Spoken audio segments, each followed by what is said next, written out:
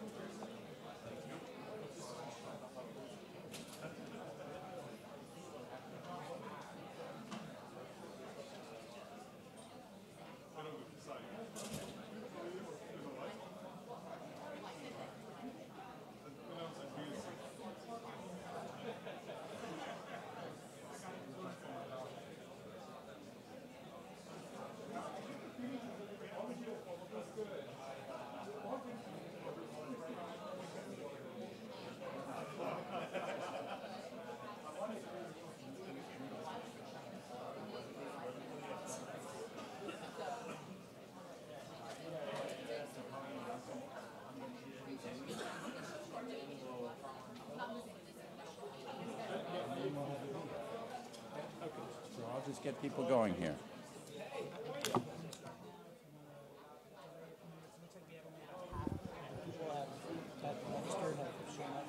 Okay. Yep. Let's give them uh, like. I got 857.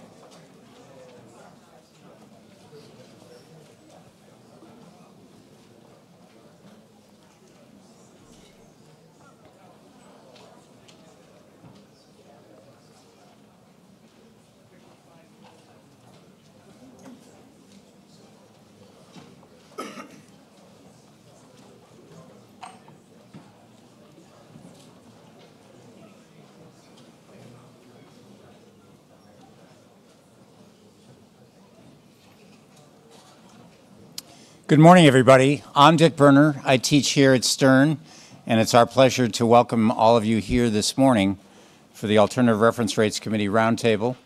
Um, my job is simple this morning. I'm here to introduce Raghu Sundaram, who is the Dean of the Stern School, uh, and then Philipp Schnabl, who is the uh, head of the Salomon Center uh, at Stern for the study of financial institutions. They are going to welcome you this morning. Following that, we'll have a video from Vice Chair Randy Quarles at the Fed, and then Tom Wipf, Chair of the ARRC, uh, will take over the meeting. Thank you very much. Raghu?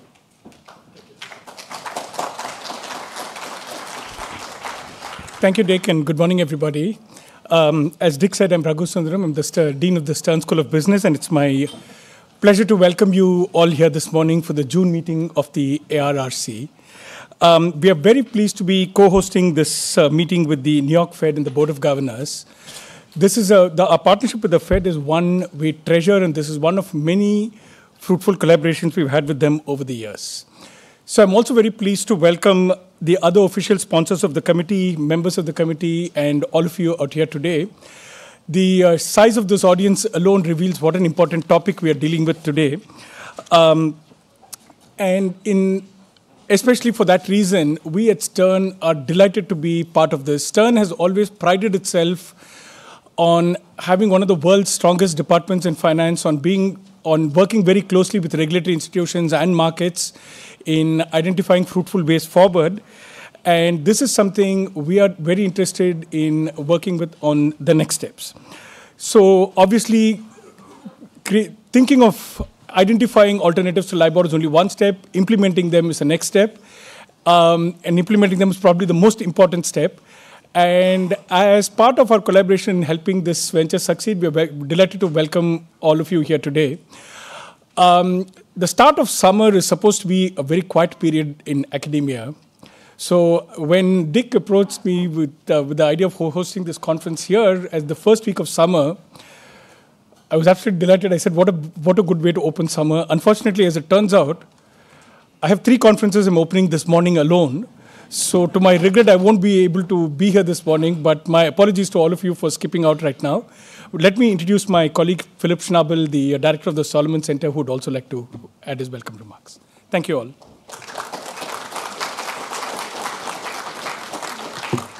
Um, thanks, Raghu. Uh, good morning, everyone. Uh, I would like to welcome you to NYU Stern as well. Uh, my name is Philipp Schnabl, and I'm a professor of finance here at NYU Stern. I'm director of the NYU Stern Salomon Center of Financial Institutions. Uh, let me just say that we are proud to be one of the co-organizers of today's event. Um, I just want to introduce you to the Salomon Center if you're not familiar with it uh, yet. Uh, let me just give you a brief overview of what we are about. The Salomon Center was founded here at NYU Stern 50 years ago, uh, and its primary mission has always been uh, to bring together policymakers, practitioners, academics. Um, and today's conference is obviously a perfect fit for this uh, mission. let me emphasize this is not the only conference we are doing. in fact, we have a number of events which are similar in nature. Uh, I'm sure some of you attended our conference on 10 years after the financial crisis uh, with a number of great speakers like Ben Bernanke, Tim Geithner, Stan Fischer, uh, a number of Nobel laureates, and many other great presenters. Uh, in case you missed it, uh, all the videos and discussions are online. Another conference that is coming up is an academic conference that the Salomon Center is organizing jointly with the New York Fed. this will be after the summer break, and it's now in its 14th edition topic is research uh, in uh, the area of financial intermediation. I'm sure uh, the topic of uh, LIBOR and alternative reference rates uh, will come up there as well. Uh, let me emphasize that most of our events are open to the public, and in case you're interested, please um, just visit our website. You will find all the information there. You can register there um, as well. That said, if uh, anybody here in the room wants more collaboration with the university uh, and NYU Stern, uh, maybe you think there's a topic that could benefit from academic input, uh, maybe you have some great data and need a smart faculty member or a PhD student to analyze it. Uh, actually, we are, we are actively looking for deposit pricing data if anybody's interested. Uh, maybe there's something else that comes to mind. please feel free to reach out to me. You can just send me an email or talk to me during a break. We really see ourselves as a platform for creating or promoting top academic research, and our center is always open for new ideas uh, and collaborations. Uh, so now getting back to today's event, I want to wish you a successful conference, and I will hand it over to uh, Randy, uh, who has some pre-recorded remarks.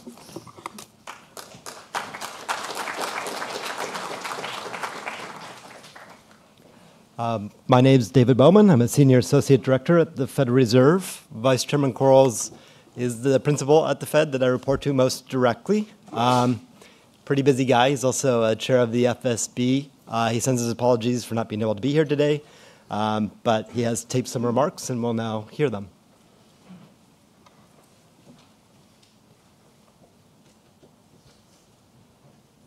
Good morning to you all. Uh, I'm sorry I can't be at the ARRC's fourth roundtable. but I wanted to share these remarks with you at the start of what is the next critical stage in the transition away from LIBOR.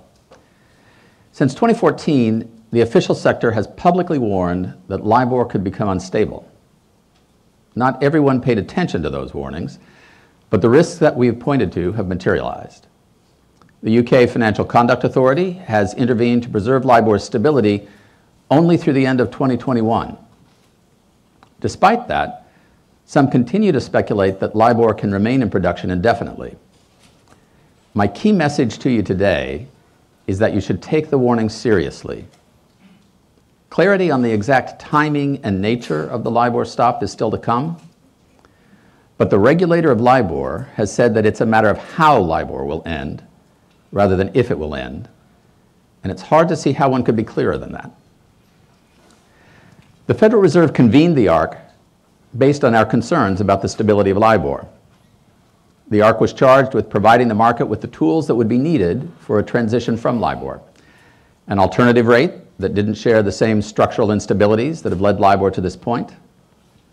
A plan to develop liquidity in the derivatives market for this new rate so that cash users could hedge their interest rate risk.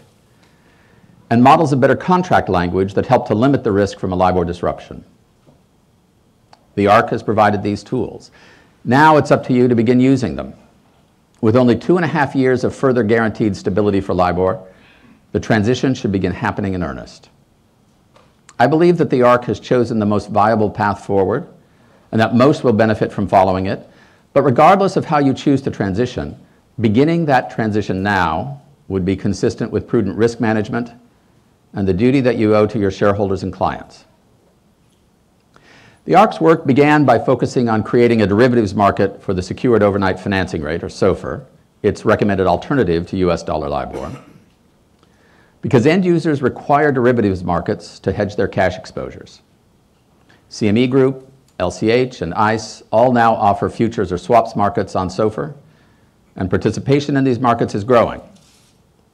As liquidity in these markets continues to develop, my hope is that many of you will avail yourselves of them to close out your LIBOR positions. In the meantime, it will be crucial in ensuring global financial stability that everyone participate in ISDA's consultations on better fallback language for LIBOR derivatives, and then sign the ISDA protocol so that those fallbacks apply to the legacy book of derivatives. Likewise, the ARRC has now offered better fallback language for new issuance of cash products that refer to LIBOR. It seems clear that much of the contract language being used currently did not envisage and is not designed for a permanent end to LIBOR. The ARRC's fallback recommendations represent a significant body of work on the part of a wide set of market participants and set out a robust and well-considered set of steps that expressly consider an end to LIBOR. I urge everyone to avail themselves of this work. It's again important for prudent risk management and your fiduciary responsibilities that you incorporate better fallback language. Issuers should demand it of themselves, and investors should demand it of issuers. There is, however, also another and easier path, which is simply to stop using LIBOR. At this moment, many seem to take comfort in continuing to use LIBOR. It's familiar, it remains liquid, but history may not view that decision kindly after LIBOR stops, it may be fairly difficult to explain, to those who may ask, exactly why it made sense to continue using a rate that you had been clearly informed had such significant risks attached to it. And make no mistake, as good as the fallback language may be, simply relying on fallback language to transition brings a number of operational risks and economic risks. Firms should be incorporating these factors into their projected cost of continuing to use LIBOR and investors and borrowers should consider them when they're offered LIBOR instruments. If you do consider these factors, then I believe you'll see it's in your interest to move away from LIBOR. In convening the ARRC, we've set a model of public-private sector cooperation in addressing a key financial stability risk. Ultimately, the private sector must drive this transition. These are private contracts, and each of you must choose how you can best address this. But the public sector must help. At a recent roundtable on the LIBOR transition held by the Financial Stability Board, we heard calls from the private sector to provide greater clarity on regulatory and tax implications of the transition, and also calls for a more muscular regulatory approach. It's incumbent on the official sector to take these requests seriously, and we are. For example, the Federal Reserve is working with the CFTC and other U.S. prudential regulators to provide greater clarity on the treatment of margin requirements for legacy derivatives instruments. Agency staff are developing proposed changes to the margin rules for non-cleared swaps to ensure that changes to legacy swaps to incorporate a move away from LIBOR, including adherence to the ISDA protocol, would not affect the grandfathered status of these legacy swaps under the margin rules. This has been a key request of the ARRC, and we'll look forward to public comment on the proposal. The Federal Reserve supervisory teams have already included a number of detailed questions about plans for the transition away from LIBOR in their monitoring discussions with large firms. The Federal Reserve will expect to see an appropriate level of preparedness at the banks we supervise, and that level must increase as the end of 2021 grows closer. Our supervisory approach will continue to be tailored to the size of the institution and the complexity of LIBOR exposure, but the largest firms should be prepared to see our expectations for them increase. As we consider the answers we've received from these firms, we'll assess how our supervisory expectations for them should evolve in the coming year. Let me address one additional point relating to our supervisory stress tests in an effort to provide further clarity. Some have recently claimed that the Federal Reserve's supervisory stress tests would penalize a bank that replaces LIBOR with SOFR in loan contracts by lowering projections of net interest income under stress. As can be seen in our recently published enhanced descriptions of the supervisory stress test models, the interest rate variables that drive projections of net interest income under stress are the yield on 10-year Treasury bonds, the yield on three-month Treasury bills, and the 10-year BBB corporate yield. That is, the supervisory projections of net interest income are primarily based on models that implicitly assume that other rates, such as LIBOR or SOFR, move passively with short-term Treasury rates. Given these mechanics, choosing to lend at SOFR rather than LIBOR will not result in lower projections of net interest income under stress in the stress test calculations of the Federal Reserve. I hope I've been able to provide you some further clarity today. I'm sure that the rest of the roundtable will do so as well. I want to applaud the members of the ARRC who are working hard to make sure that this threat to financial stability is avoided. Thank you. Okay, why don't we let a minute if people want to come in and find seats. Feel free to do that.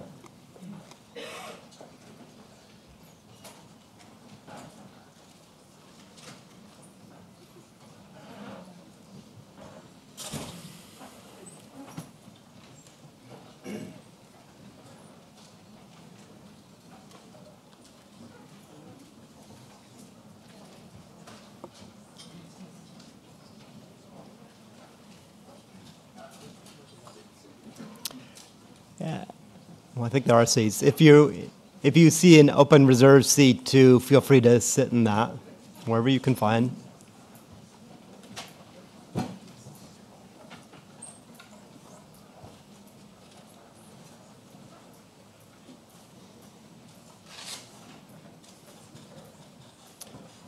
There's some up in the front.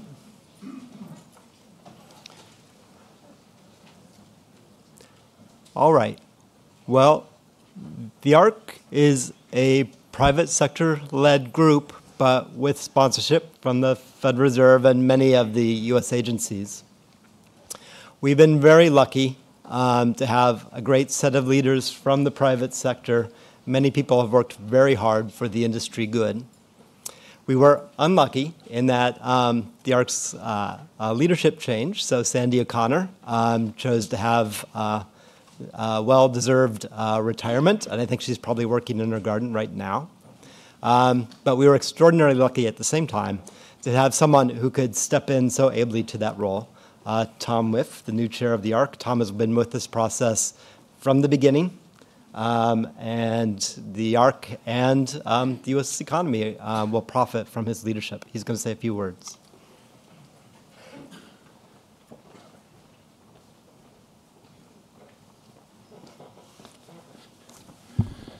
Thank you very much, David. I think we've, uh, having just heard from uh, Vice Chairman Quarles, uh, that the official sector believes a transition is necessary. Indeed, they believe it is inevitable.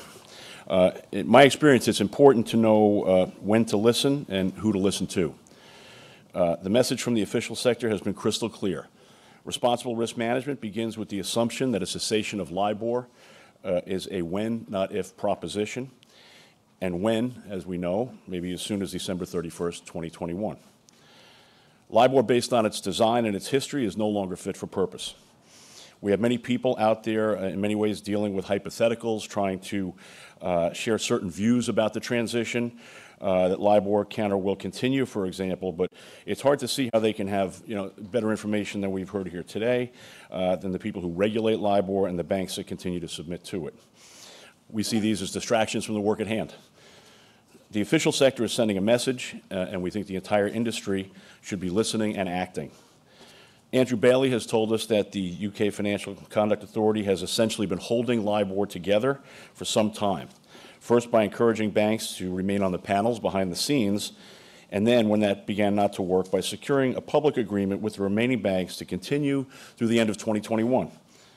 The Federal Reserve convened the ARRC to help coordinate a transition away from LIBOR to a more robust rate, and the U.S. official sector has supported the ARRC's work uh, as ex officio members.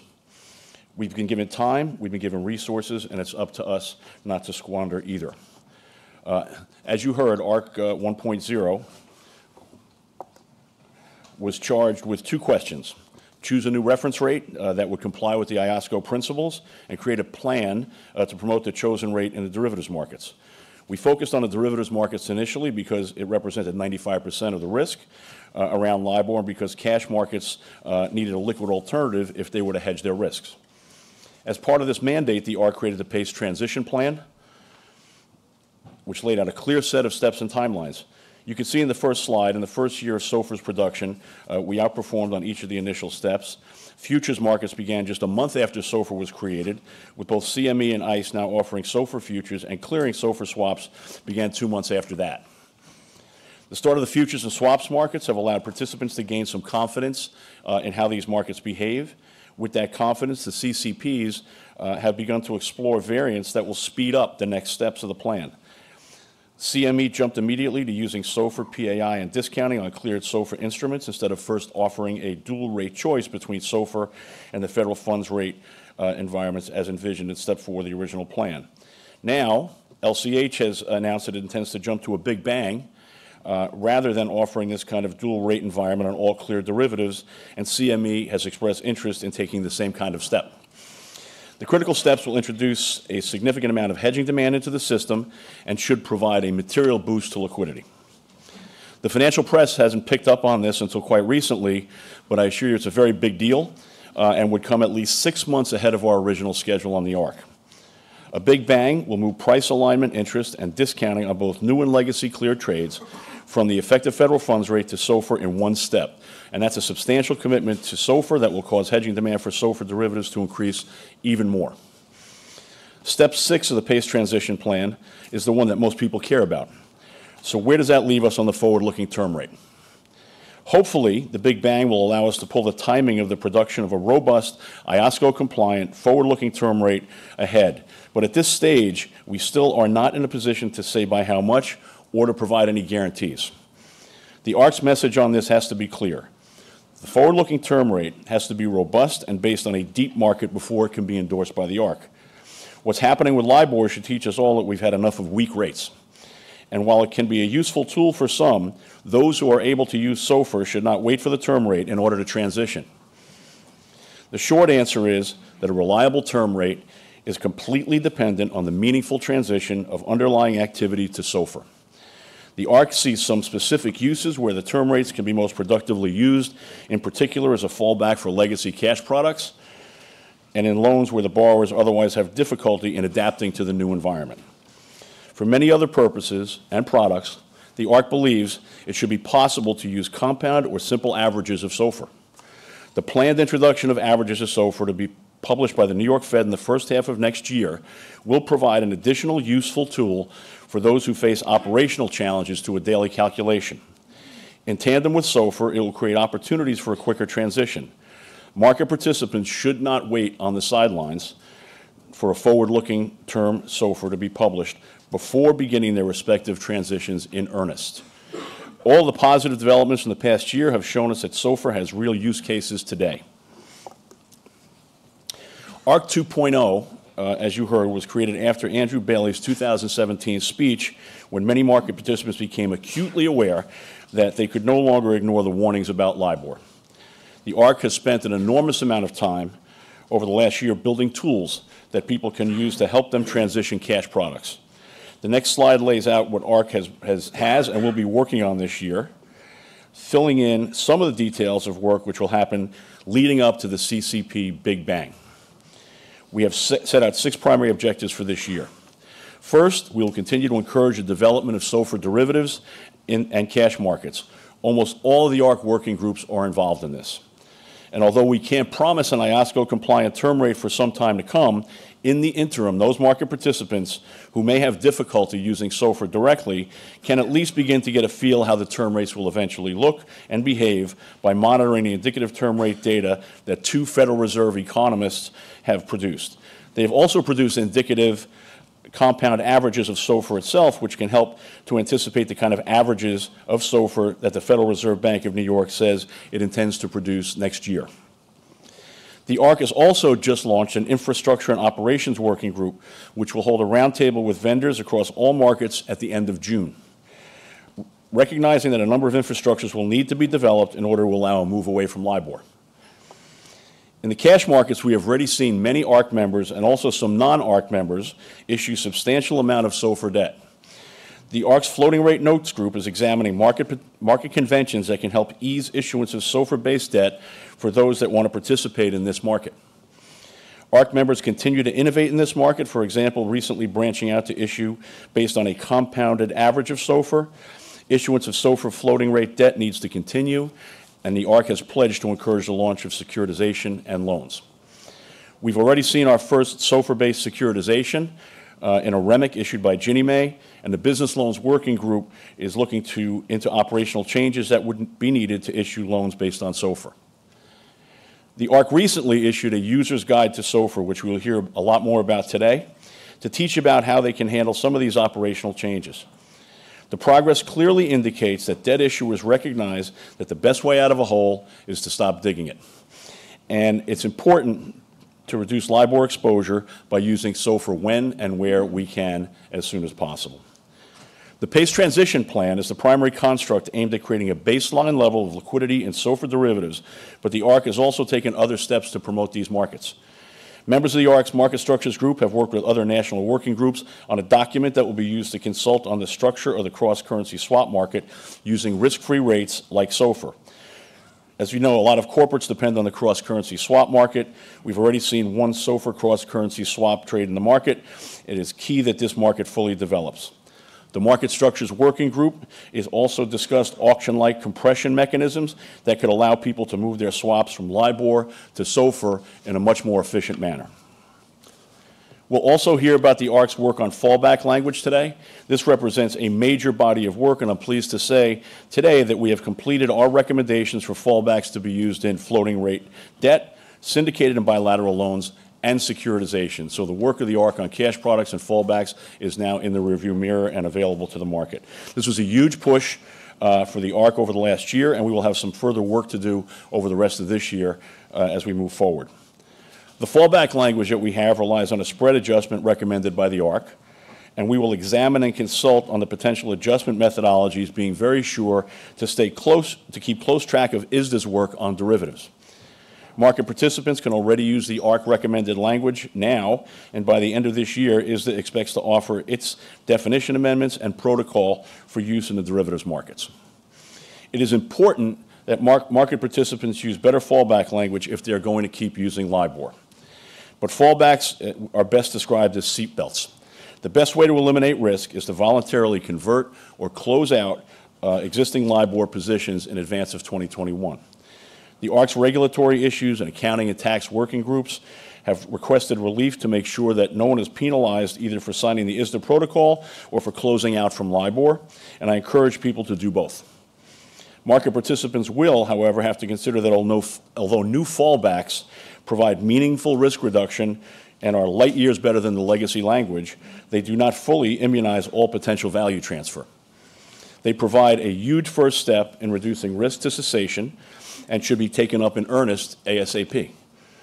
But this year, with a clear line of sight to a post-2021 world, the outcomes across cash and derivatives, risk managers will really need to determine exactly how much risk and how many fallbacks they are willing to take over the December 2021 cliff. The modeling changes alone could serve as a catalyst for conversion and closeouts, clearly being the better uh, risk reduction alternative. Of course, some legacy cash products will not be able to be amended to incorporate better fallback language or to be extinguished altogether. The ARRC will look to minimize the impacts uh, of the transition to SOFR where we can, but market participants need to be aware that there are risks that the ARRC cannot guarantee a solution, uh, and we can't guarantee a solution for every problem. There may be no solution for some of these products. However, as noted in the ARRC's minutes, we are discussing whether it would make sense to pursue some form of legislative relief in New York and perhaps in other states. This is generating, obviously, a fair amount of interest, uh, but the analysis is in its very, very early stages, and it is not yet ready for prime time. We need to be sure that the legal arguments are fully considered before deciding whether to take any steps, and of course, it will be up to the legislative process to decide whether uh, any requests are taken up. We are hoping to decide if seeking legislative relief is the right way to go over the next several months at the ARRC. On consumer products, from the start, the ARRC has recognized that consumer products need to be treated with the highest standards of care uh, and needed to move on a separate track. We started up our consumer products group in its earnest at the start of this year, and by using many of the lessons learned in the other working groups, they have been able to make really good progress. We'll talk a bit more about consumer products in the last panel today, but the group is working to both release a white paper on potential models of adjustable-rate mortgages using SOFR and a consultation on better fallback language in mortgages referencing LIBOR. Throughout this process, the CFPB, FHFA, Federal Reserve, and other ex officio members have been actively engaged, uh, as have consumer groups. The ARRC is committed to making sure that our proposals work for consumers while also recognizing that they need to work for investors if consumers are to be able to borrow at competitive rates. Outreach and coordination. Finally, but not least, we will continue to do all we can to reach out and educate and listen to all sectors of the market, and we will continue to engage with the counterparts of the ARRC in other jurisdictions. The user's guide, the fallback language, our roundtables, our office hours, the many events that ARRC members are attending on a near weekly basis to discuss the transition are some of the ways that we are conducting outreach. I hope that we can continue to expand these efforts uh, this year and to incorporate an even wider audience. I've been involved in the public-facing side of the industry for many years with the Treasury Market Practices Group for over a decade, and most recently with the CFTC's Market Risk Advisory Council and as a board member of ISDA, but I've never seen anything like the scale of the transition from LIBOR.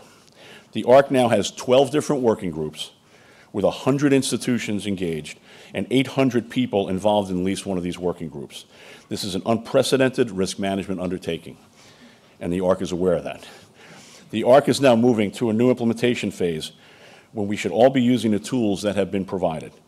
2019 is absolutely a mission-critical year, and with only two and a half years left on the clock, we should all consider the challenges and act now. We should all be listening to the message from the official sector that the transition will happen. We have also heard the message today that the official sector stands ready to support us. There are already many ways that they provided support. But while the official sector can support this transition, they've also made it clear that this is voluntary and they are not seeking to oppose a solution on the market. The industry has been presented with a one-time opportunity to address this financial stability issue, utilizing all the subject matter expertise in the market today. A broad-based industry solution will provide the best outcome with the least amount of disruption. Experience tells me that the alternative will be more prescriptive and a lot less flexible. So the progress we make over the next 12 months is critical to preserving an industry-designed outcome to this issue. these are our contracts, our markets, our pricing, our risks, and our problem. It's up to us to take the lead on the solution. The ARRC has provided the tools. The industry needs to do the work. The clock is ticking, and the time is now. Thank you very much. I'll pass it back to Dave.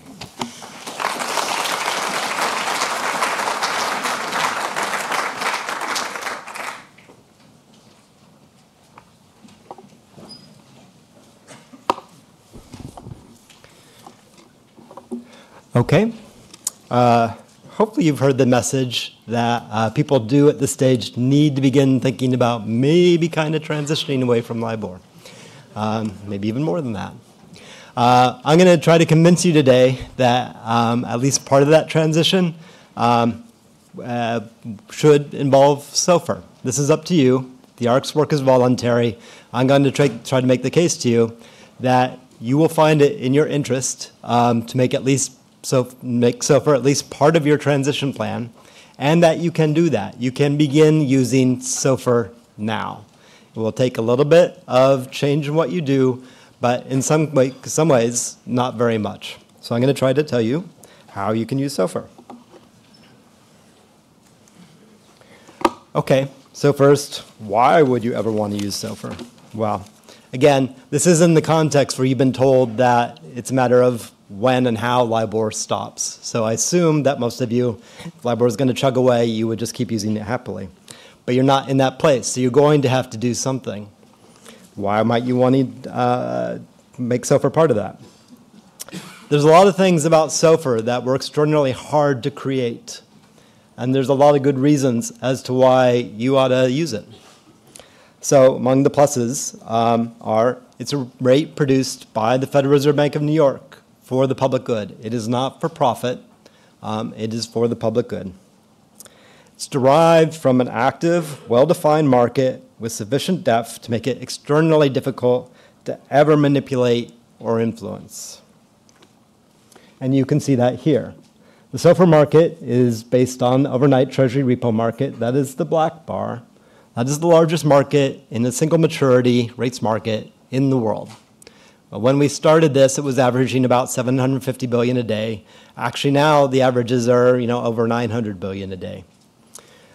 Other rates, you know, especially term rates uh, like LIBOR, are based on markets to the far right. It is extraordinarily difficult to create any kind of transaction-based rate um, that is robust, cannot be manipulated, is transparent, based on markets that are that thin. With SOFR, you just don't have those problems. SOFR is produced in a transparent, direct manner, and it's based on observable transactions rather than being dependent on estimates or models like LIBOR. Last thing is, um, it is derived from a market that was able to weather the global financial crisis, um, and that the ARRC credibly believes will remain active enough in order that it can be reliably produced in a wide range of market conditions. So even during the financial crisis, right, the treasury repo market was one of the few that survived. In fact, volumes actually grew during the crisis. Uh, most other rates could not say that. Uh, so if you want a rate that's going to be there when you need it, SOFR will be.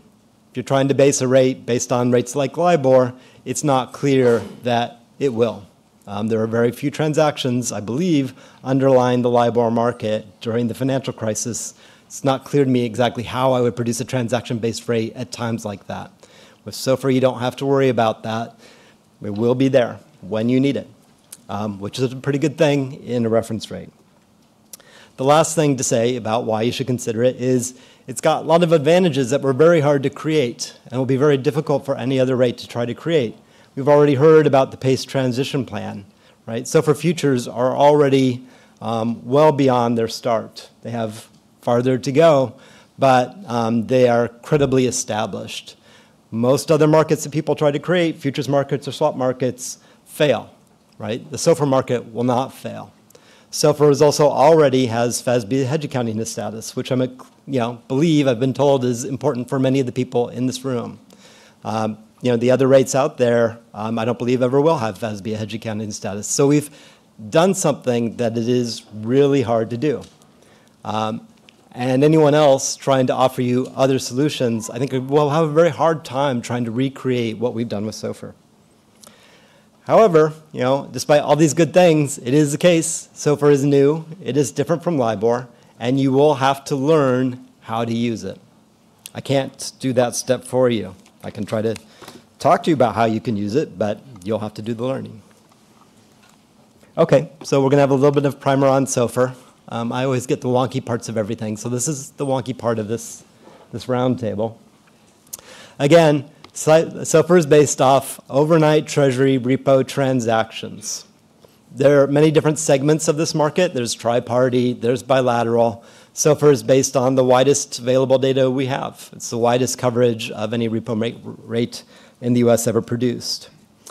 As I said, it's produced by the Federal Reserve Bank of New York. Um, they publish it around 8 a.m. every day. You can go and find it on their website. You can see this is a screen grab of their website. The rate that FRBNY produces every day are based on transactions that they receive overnight from the previous day. So, um, for instance, uh, on April 16th, they published a rate based on transactions that were entered into on April 15th. People decide, you know, what rate they want to borrow at on April 15th. We get the transactions, we publish the rate on April 16th, which is the day that the money is returned to you. So there's one day lag. That's different from LIBOR, um, where you know it's published 11 a.m. Uh, London time on the day. This is published with a one-day lag. That is different, but it is exactly the same way that we produce the Fed funds effective and that other jurisdictions produce their risk-free rates. So it's different, but it's not particularly new, um, and it is entirely workable. All right, now the second thing you might want to know is, well, where do I get data? Um, as I said, you can go to the Federal Reserve Bank of New York's website, you can get data. Um, SOFR began production uh, April 3rd of last year on their website. Um, the first one you go to, you can find historical data going back to that time. But they've also published data, um, pre-production data, based on uh, uh, estimates they have of data they collected before the official publication of SOFR. And they've published that, and, I've, uh, and that goes back to 2014. I've got a link to that there. In addition, um, about a year and a half ago, um, they published another source of repo data, which is based on um, primary dealer surveys that they conduct every day. Uh, and that historical data, which is not exactly the same as SOFR, um, there are certain technical differences from SOFR, but that data goes back to 1998. Now I'm going to, um, I'm in the act of publishing a Fed's note that argues um, that I think this is um, good historical data, that you can use this to um, adequately risk model SOFR. And the basic argument in that note is, you know, before the Dodd-Frank regulations, so before 2014, the repo market was fairly homogeneous, and different segments of it moved really closely together. Um, and therefore, you know, in what I can see, this historical data going back to 98 seems like a good proxy for how a rate like SOFR would have behaved. Now, what does that data tell you? Um, here, I'm showing three-month averages of this repo rate and three-month averages of the Fed funds effective. as you can see, um, the repo rate is really quite close to the Fed funds effective on average over a wide variety of circumstances. So on any given day, there's going to be some volatility in SOFR. If you look at the daily history during the financial crisis, you'll see a few days of some extreme volatility where, where the repo rate spikes down. Those are the worst days of financial crisis where people would basically, you know, kill their grandmothers to get treasury collateral. So the rates really fell on those days. Um, but then they bounce back. And you know, if you do a three-month average, you can't really see those bounces at all. So how should you expect SOFR to behave? You should expect it to behave pretty much like the Fed funds effective on average which means moving fairly closely with the center of the Fed's monetary target. Right? So you can risk model SOFR, I believe. All right. So we gave you a rate. There's history. How can you use that in financial markets? There's a couple different ways that you can use it. First, you know, the Federal Reserve Bank of New York has indicated plans to publish averages of SOFR um, in the first half of next year. Market participants are already using averages of SOFR in floating rate debt that we've seen issued, in um, SOFR futures and SOFR swaps. So taking an average is pretty easy. You can do that in Excel. You can use SOFR that way. The fact that the Federal Reserve Bank of New York will um, publish the rate, I think, will help gain familiarity, but you don't need to wait for them to publish it. You can just calculate uh, that average yourself, and that's what the debt and futures and swaps markets do. Now, as Thomas said, and I know there's a lot of interest in this, the ARRC has also set a goal of seeing forward-looking term rates based off SOFR derivatives produced as the last step of its PACE transition plan, though that may not come till the end of 2021. As Tom also said, Fed Reserve staff members have produced indicative forward-looking term rates. So indicative here means um, they're not IOSCO compliant, they're not meant to be used in contracts, they're just for your information. Um, and why they published them was, you know, proof of concept. Um, and because I think the ARRC believes that seeing this kind of data can help you grow familiar um, with how a rate like the term rates will behave, and you know, give you some hope or confidence that those rates eventually can be produced. The data, um, I show part of that data um, on the top slide here. Uh, again, the blue line is this three-month indicative SOFR forward-looking term rate. You can find this data. If you go to the ARRC's website, you look to the right, you do one click, you'll go to the, um, the two staff members' Fed's paper, you do another click, and you'll get to the data. So there's two clicks, um, but you can find the data. And it's regularly updated. It's not daily, but they update it regularly. So how should the term rate behave once you know, it is able to be commercially published? It should behave pretty much like a, a you know, a one month or a three month Fed funds OIS contract. And you can see that here. Um, it's very smooth, uh, and it moves pretty much in line with Fed funds OIS. So you already have some familiarity with how the term rate will behave if you have any familiarity with how you know, Fed funds OIS behave. Um, that forward-looking term rate also is going to be really tightly aligned, um, almost always, with averages of SOFR, right? So this is a matter of some confusion. What's the relationship between the term rate and the kind of compound averages of SOFR um, that are used in um, the floating, as a floating leg in the swaps market? There's a very tight alignment between those two. And you can see that here, well, you can see what in the bottom panel, there's a very tight alignment between uh, Fed funds OIS and the compound average of the Fed funds in arrears, right? Um, so uh, the only real difference is that the term rate is the expectation about what's going to happen, and the compound average is what really actually happens, more or less. There's term premiums and stuff like that. But um, uh, in some ways, well, in many ways, I think the average of SOFR, that compound average, is the gold standard. If you want to hedge actual interest rate risk, use the compound average because that will reflect what actually happens to interest rates over the period. The term rate is convenient in some ways, but it's just the market's guess about what's going to happen. Um, you know, the compound average will give you what actually happens. Okay, now, I know lots of people just want to wait for the term rate, so I'm going to try to convince you not to do that. Okay. So I've got two slides on this because I really want to try to convince you of this. Why should you not just wait for the term rate? Right? Well, the forward-looking term rates um, will have to be based off SOFR derivatives markets, so SOFR futures, SOFR swaps. If you looked at that slide that I showed you before with the big bar for SOFR, there is no cash market, there's no term cash market with enough depth to produce a robust term rate, right? So um, we can't give you a term rate now. The only market that will conceivably have enough depth are SOFR futures, SOFR swaps.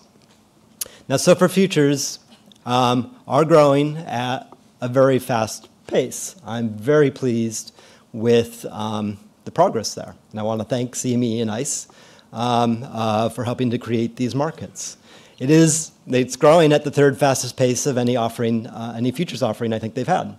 It's growing faster than Fed funds futures or Eurodollar futures did at this stage in their development. So we can all be pleased about that. And the swaps market is coming along um, uh, behind that. However, at the same time that all those things are true, and you can see that growth in uh, futures and CME futures in uh, the chart to the right, same time, all that is absolutely true. It is still the case that the volume underlying SOFR futures are a fraction of the volumes underlying Fed funds futures or Eurodollar futures, right? So the markets are not at a depth at which you can create a robust term rate today. I have every confidence that someday they will be, I cannot give you a firm date for that. Hopefully, it will become before LIBOR ends rather than after LIBOR ends. But what I can tell you is it's not today, and it's not going to be tomorrow either. It's going to be some time before the robust IOSCO compliant term rate can be built. Um, the other thing I want to talk about is um, uh, that the only way we're going to get a robust IOSCO compliant term rate is if most products actually try to use SOFR directly. And this is a point um, that Tom makes quite a bit.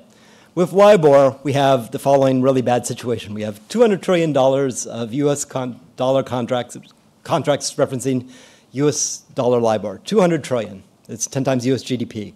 Built off a very, very tiny, thin, uh, not very relevant anymore market that has about 500 million underneath it. So there's a pyramid, but the pyramid is inverted. It's not stable. It shouldn't be surprising that, you know, we're in the process of seeing that thing crash over. What the ARRC would like to do instead is build a pyramid. I know this sounds crazy, but maybe the right side up this time, right? So that's actually stable.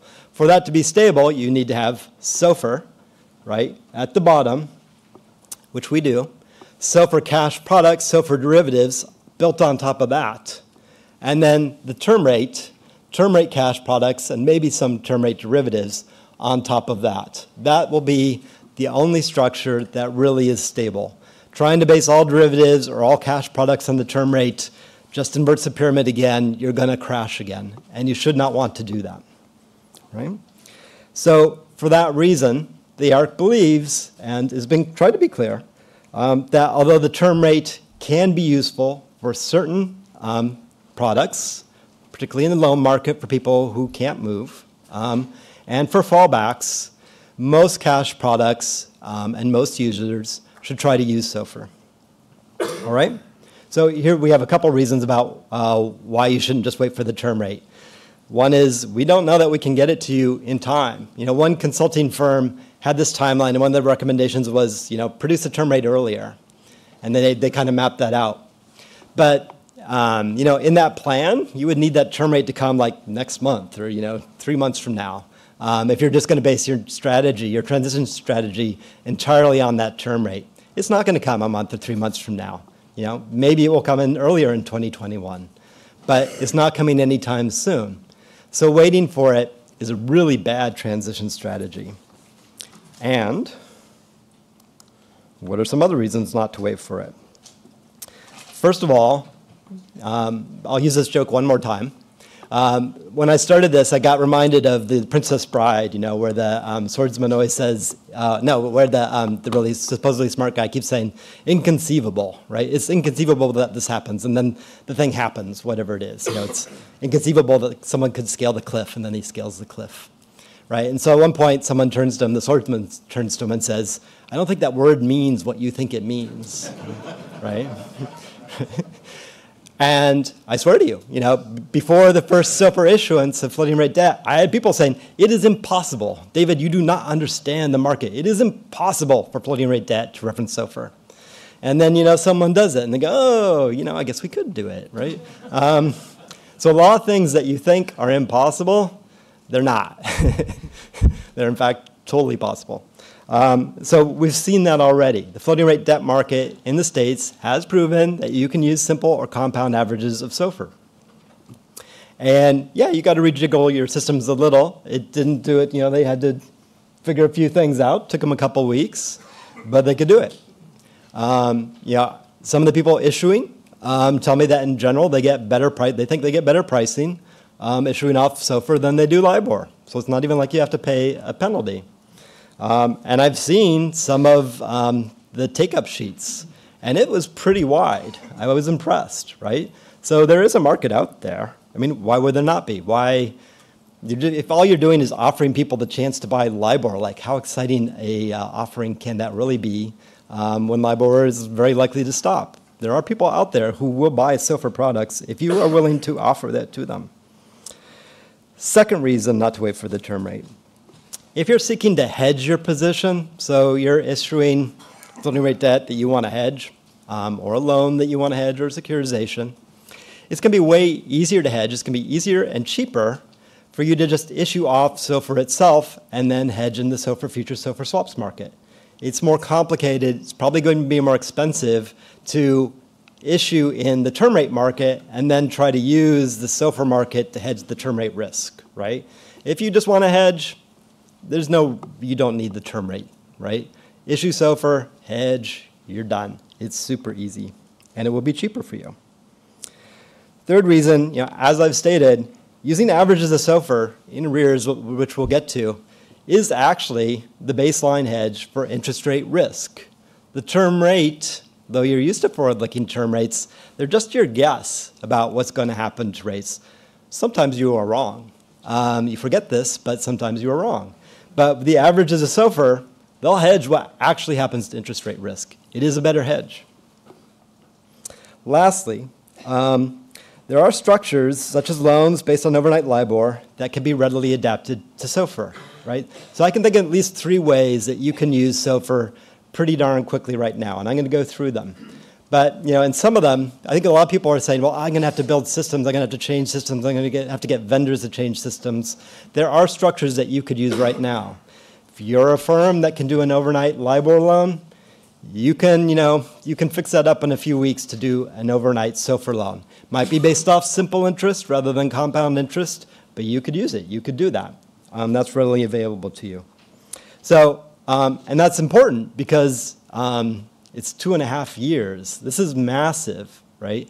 I think a lot of people aren't even taking on board how massive this will be. Even if you get a plan, which I hope you do, um, just enacting that plan is going to take a lot of time. Trying to start all this now makes way more sense than trying to wait. All right. So, all right. I've hopefully convinced you that maybe you ought not to. I'll go on a few more. Um, I think this is important, right? Um, I'm, I've never asked anybody just, you know, move your entire book from LIBOR to SOFR today. That would not be prudent, right? All I'm asking people is give it a chance. Dip your toe in the water, try a little bit. Now, why is that in your interest, right? If you get started early, one, you're going to have a much easier time on the day that LIBOR stops. If your entire strategy is just wait till it stops and then see what happens, maybe rely on fallback language, that's a pretty complicated day for you. Do you know how many phone calls and how many systems you're going to have to be checking, you know, that haven't broken, right? How many customer calls are going to be coming in saying, you know, what, what is my rate now? What is my rate now? How many things are going to have to go right and how many things are probably actually going to go wrong on that day? if you put all your risk on just hitting the wall and you know, you know, transitioning on the day LIBOR stops, that's like several different Y2Ks, you know, stuffed together with a bunch of other really bad stuff. It will be a bad day for you. On the other hand, if you move early, right, you could have a pretty good day. Your boss might even come in and say, "You are really smart," right?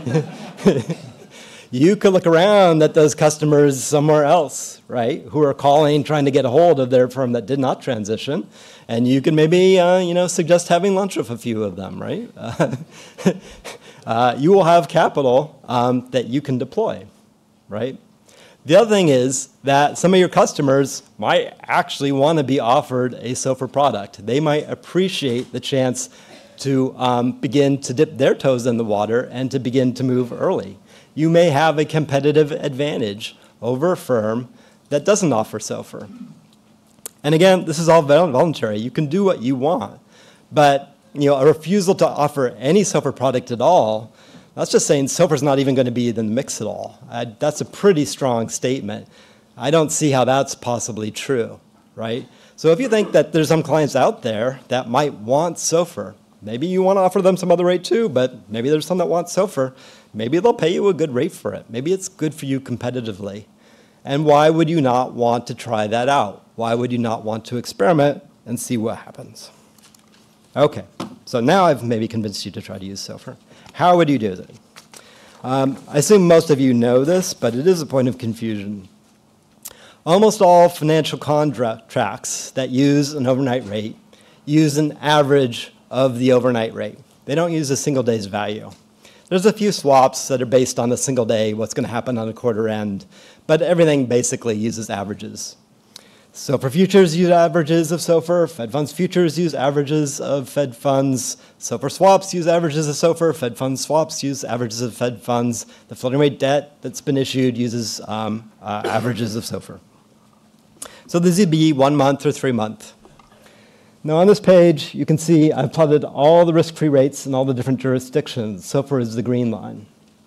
Now, these are all market rates. They do show some volatility, maybe not when they were at the zero lower bound, but it's normal for a market rate to show some volatility. SOFR is far from the outlier in that. There are some you know, pre-crisis that were far more volatile than SOFR. So you might look at that and you say, well, I can't use that rate. But I will turn to you and say, but you're not. The floating rate is an average of these rates, and that is to the right. The averages are smooth. The averages are perfectly usable um, the market knows this. The market has done this for a long time, derivatives markets. This is a problem that has an easy solution. The solution is already there. Just use averages. Now people say, yeah, but I read newspaper articles, SOFR jumped up, you know, at the year end, and someone told me that therefore it can't be used. The year-end jumps, the quarter-end jumps, those are things that happen in markets. Um, Fed funds used to spike down um, at year and quarter ends. LIBOR would uh, move up appreciably around year and quarter ends during the financial crisis. It's not anything new. It was certainly something the ARRC was aware of. Again, um, if you use averages, well, and you can see the spike in uh, SOFR at the top, the black line, that's the daily rate. There was a big spike at the year end um, this year. Wasn't unprecedented, but was bigger than the past couple of years. But again, uh, the blue line is a one-month average of SOFR. The, three, uh, the green line is a three-month average of SOFR. You cannot see the year end. I can't see it, at least in the green line, right? I mean, I know where the year end is. I'm showing you where the year end is. But if I just look at the green line, I can't see it. So even, even you know, the year end that we saw, again, has no really real appreciable impact on the average of SOFR. Um, and it remains the case that a three-month average of SOFR is less volatile than three-month LIBOR. Three-month LIBOR has had some swings, some 40 to 50, 40 to 60 basis point swings over the past couple years relative to OIS. Those have been real swings, right? Those are, those are swings that have impacted what people pay on their loans or on their mortgages, right? You don't see those kinds of swings in a three-month average of SOFR. Uh, now, you know, I explain this to people. I've explained it to the press. You don't see it in the averages, and they don't always get it. I think one of the benefits of having the Federal Reserve Bank of New York, you know, move to publish averages and so forth is it will be clear, right? Then you can point and just say, yeah, that's the overnight rate, but my floating rate is really an average, and you can see that that thing didn't move, right? So part of this will just help people understand that the averages are far smoother, um, and that's what the floating rate really is.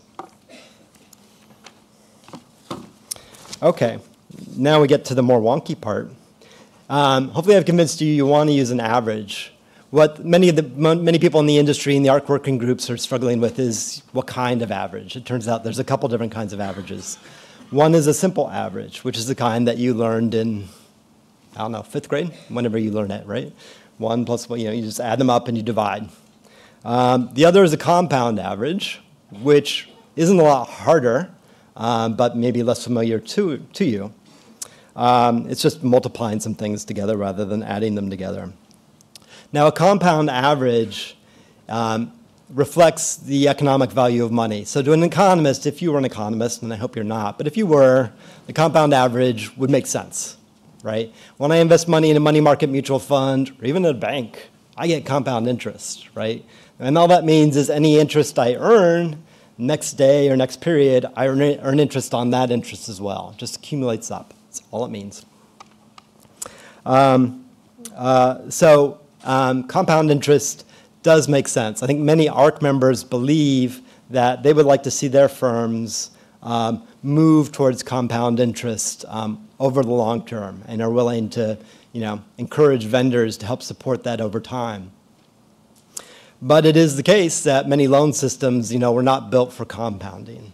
Um, guess they were built a long time ago, um, haven't really taken up the computer revolution. They're based off of uh, simple averages. And that's, you know, that's legitimate. It's hard to change the systems. It's complicated, right? Um, so right now, a lot of systems might use simple, while the floating rate debt has used simple, although we've seen one recent compound issuance in floating rate debt markets that went pretty well.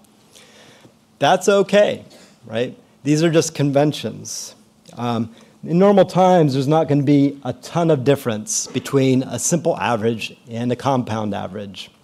If rates are really low, um, there's going to be hardly any difference. As rates rise, there will be some. It can go up to five basis points or so. It has historically. Um, so you'll see some movements between them. But those are movements you can correct for. So if you're offering a loan based on simple interest, you can just adjust your margin um, to get the same borrowing cost um, as you would have if you if you'd issued compound.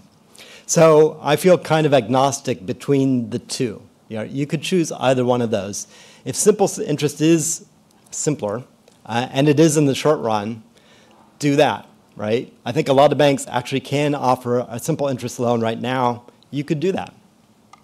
Um, and then finally, people mix and match too to make it even more confusing. Like sometimes you'll compound the rate, but then you'll add the margin. And that'll be really confusing to economists. You can freak us out when you tell us you're doing that. Um, but they're just conventions, and you can choose any of those conventions that you want. Choose the one that makes sense and is easiest. So um, that part's not a big deal, right? It sounds complicated. If you've never done compounding, you'll have to learn it. You won't like it. But um, you're smart and you can do it. But they're just conventions. Choose one. And if you can do simple now, then do simple now. Lesson two is not really that much harder, um, but it's a little bit harder. There is an actual choice that needs to be made here. Um, the other choice you have to make if you're going to use an average of SOFR is you know, what period to take the average over.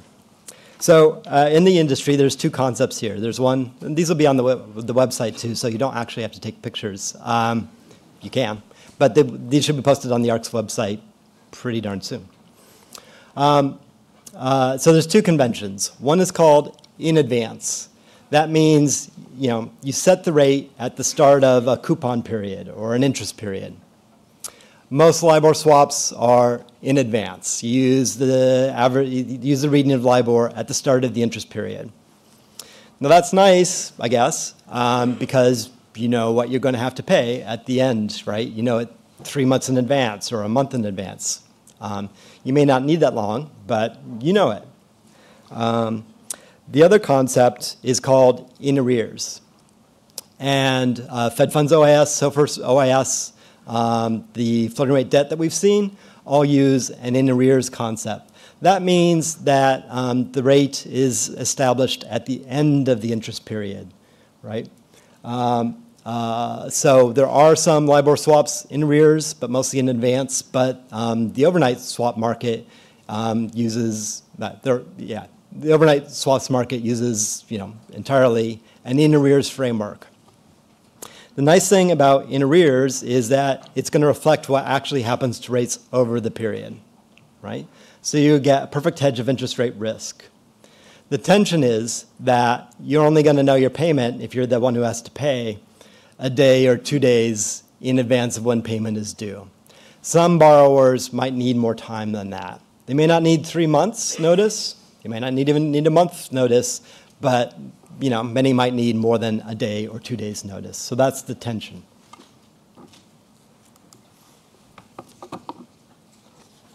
Okay. So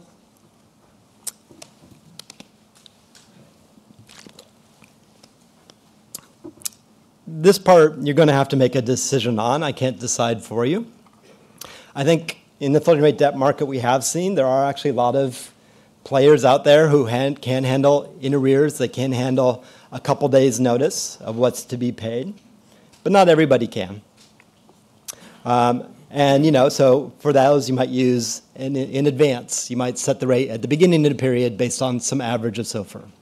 What the lender might not like about that is that rate they can consider to be out of date. You know, that was the average over the last period. It's not hedging me against what's going to happen this period. So there's basis, right, if you use in advance. That is true. There will be some basis. But it's not really a new issue. So even if you use a forward-looking term rate like LIBOR, right, um, uh, you're going to have basis. That's because, right, so people don't like in advance because they say, well, what if the Fed, what if we all know the Fed's going to raise rates three months from now? That won't show up on a backward looking average of SOFR, but it'll show up in LIBOR, you know, it'll show up in one year LIBOR. Um, uh, and that's true if you expect it, it should show up on one year LIBOR. But then you have to ask, how accurate are my guesses? You know, how good is one year LIBOR at actually predicting what's going to happen to interest rates? So in the bottom left, that's what I do. I just plot one year LIBOR. I mean adjust it to control for the credit spread and just ask how well did one year LIBOR um, predict what was going to happen in, to Fed monetary policy over the year. And that is the orange line.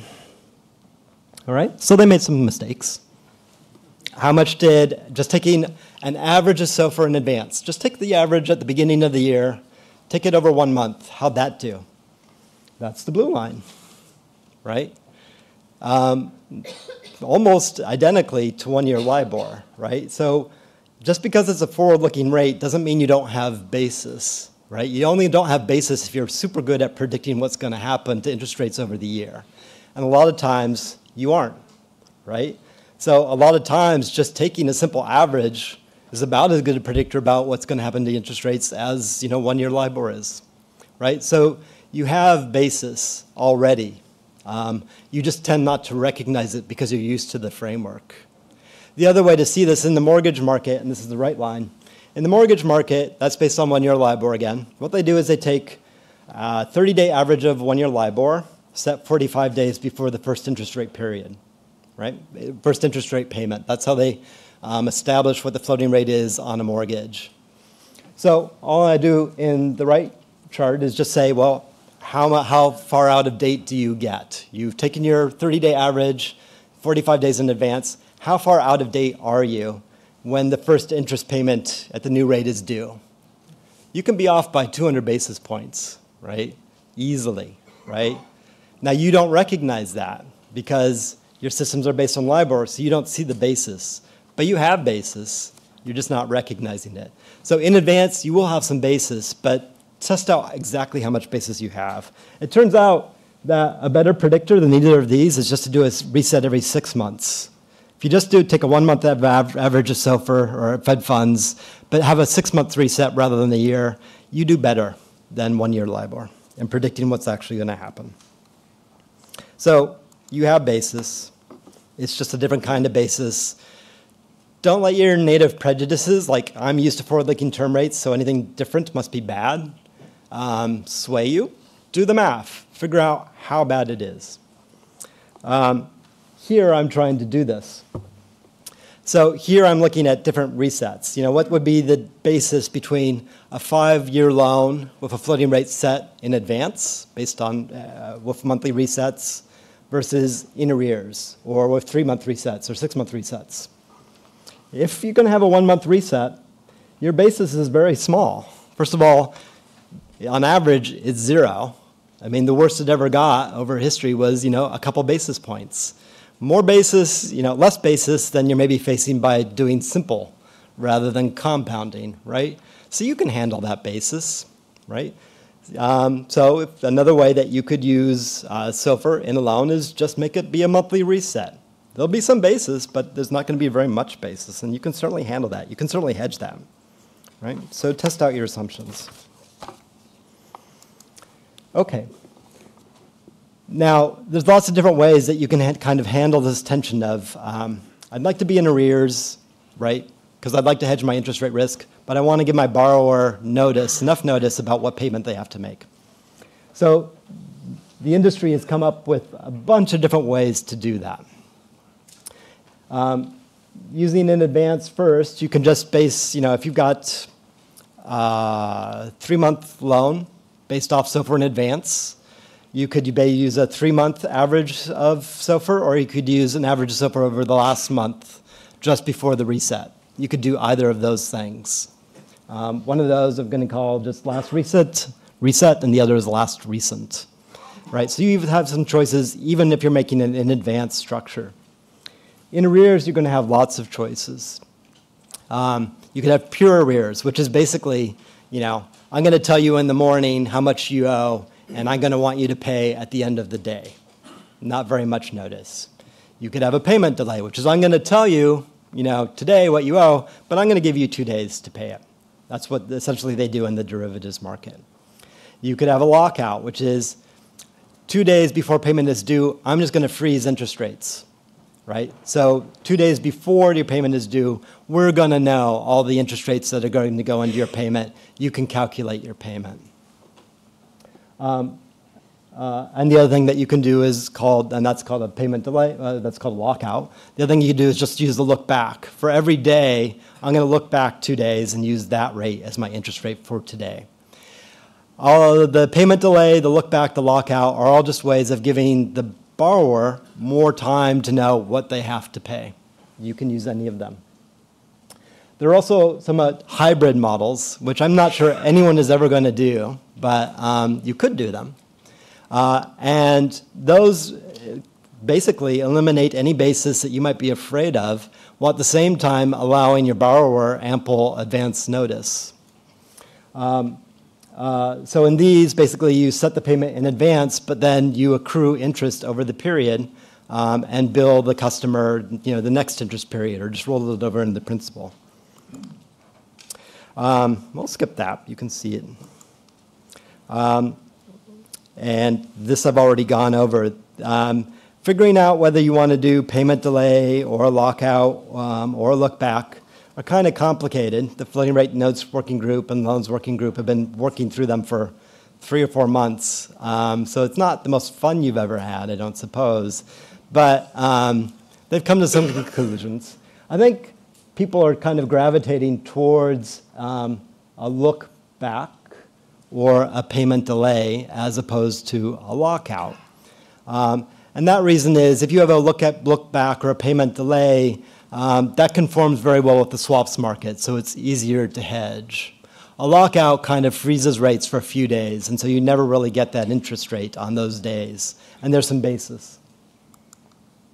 Um, here you can see the basis, right? So a lockout will have basis if you're trying to hedge. On the other hand, not everyone does try to hedge, so they don't care if there's some basis to the swap market.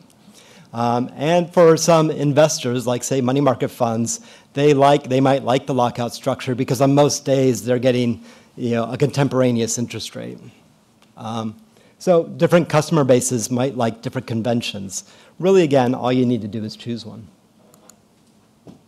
Uh, in the market, what people have tended to choose, first of all, mostly they've used simple averages so far, but we are seeing some movement towards compounding.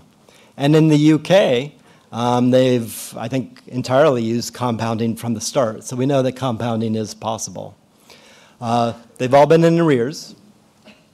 Um, in the States, um, uh, we've tended to use a lockout or a suspension period, usually two days, um, with a one day look back. Uh, in the UK, um, they've tended to like, uh, a, well, a that doesn't actually seem right, but okay. I think they've used a look back, right? Yeah. My table is wrong, I'm sorry. I'll fix it. So instead of five business days lockout, that should be five business day look back, right? So I guess all this tells you is you can do these conventions. All of them are possible. Last thing I'm going to say is, you know, what about my hybrid models? In the user's guide, I show them for mortgages, and Brian is smiling because he knows no one's ever going to use them. But um, if you use one of my hybrid models, and no one's ever going to use these in mortgages, I don't believe. But if you did, and I use it as an example because there the basis can be extreme, you're looking at a one-year reset right now. You can eliminate basically all of uh, the basis, right? At the same time, you can give a payment structure to the borrower that's basically the same as an advance, right? So again, you can't, I don't think anyone is going to do this for the mortgage market. But in the loan market, you could do these pretty easily. In a loan to a large corporate, you could say, yeah, we're going to set your interest rate in advance, but we'll track what happens over the interest rate period, and I'll just bill you next period for any difference, or I'll put it into principal. They would understand that. That would not be hard. That is a third way that you can use SOFR, and your problems are solved. You don't have any basis, and they know their um, payments way in advance. So you've got three ways that you can use SOFR now. You can use simple SOFR or maybe compound SOFR in arrears. People are already doing that. You can use SOFR in advance. People aren't doing that, but they could. You could use these hybrid models. Any of these will take very minimal adjustments to your systems. You could be doing them within, you know, a month to two months if you had the will to do it. Other things make, take more time. You have time to make those other adjustments, but you could be doing these things now, and I hope you will at least begin considering doing that. Right, thank you.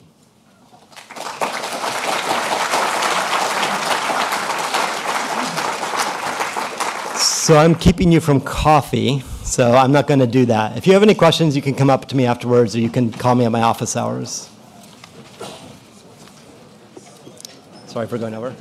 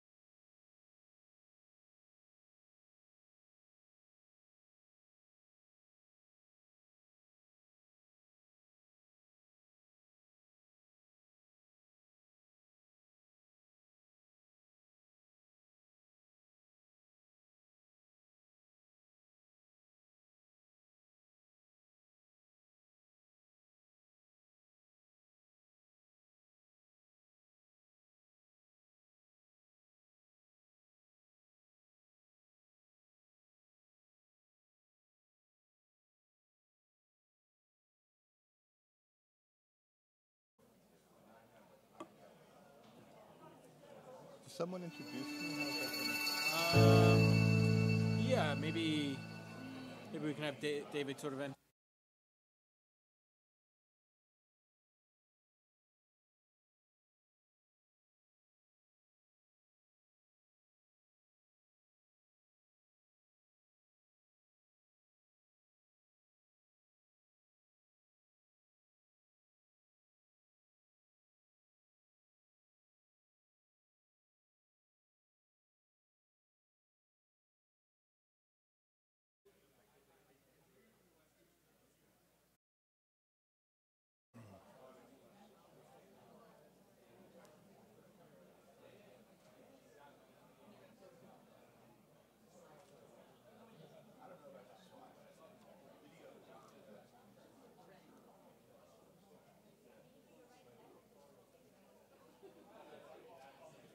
So, um, we did. We haven't met, have we? Uh, no, I'm Sai Srinivasan. I'm moderating the next panel. Oh, you are. I know. Okay, good to meet you then, Larry. Try and get into the same.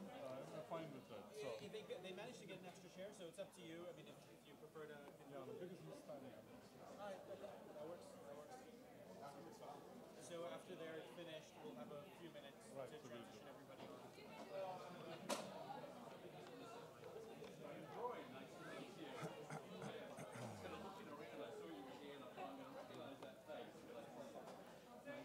Stop digging.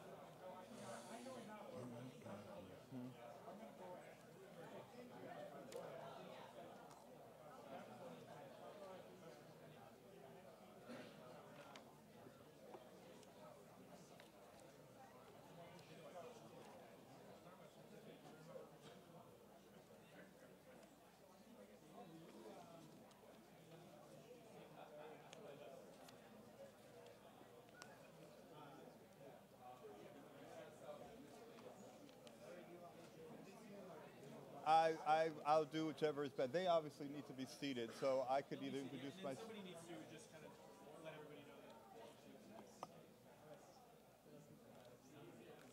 So, you wanna, you wanna, yeah, I'll introduce myself. Okay, it's fine.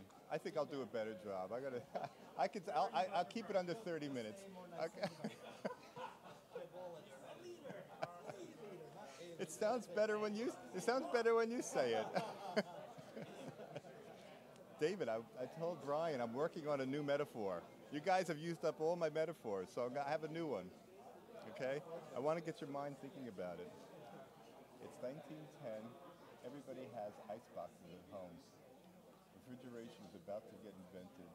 Everybody's complaining. I don't want to spend the time to to to get, go. I don't want to have to build the infrastructure for a refrigerator, electricity, all that. I'm just going to wait for. I'm going to wait to see what happens.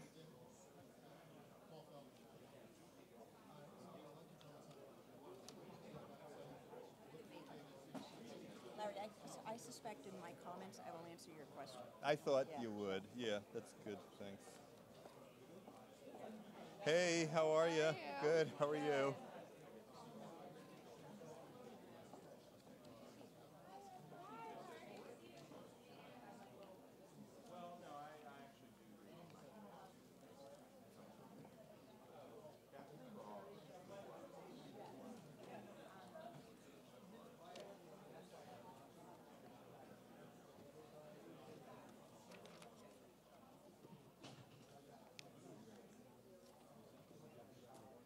I've got, I've got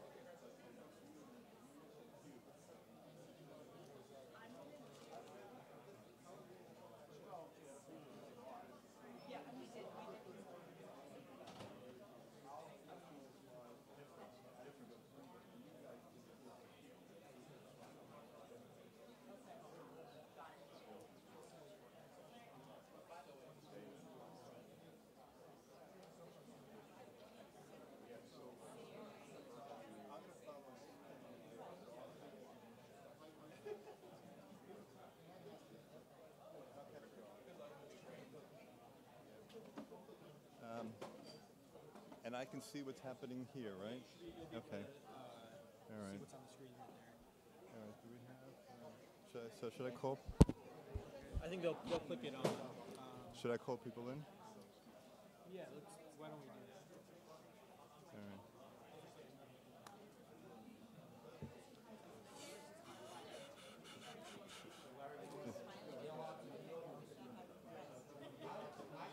I was about to do that. Yeah, I was going to take charge. Okay, folks. Um, is this working? Hello? It's on. Okay. Uh, we're going to get started in a minute with the highlight of the day. Um, for those of you who love contract language, um, can you all please uh, come in and take your seats? We're eager to get started and um, try to keep ourselves on schedule.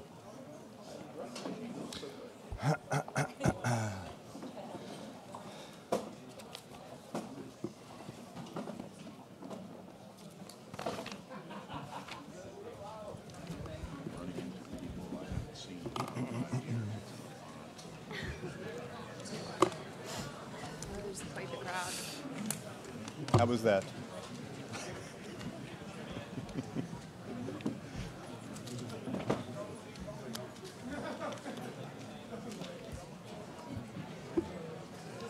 Consultation responses pouring in.